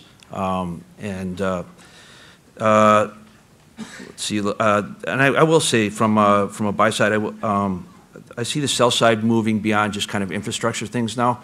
I think when we first saw pieces come out from the sell side, a lot of it was just around infrastructure, dates, things like that. There, there is certainly uh, much more engagement from the actual capital markets front end side of it.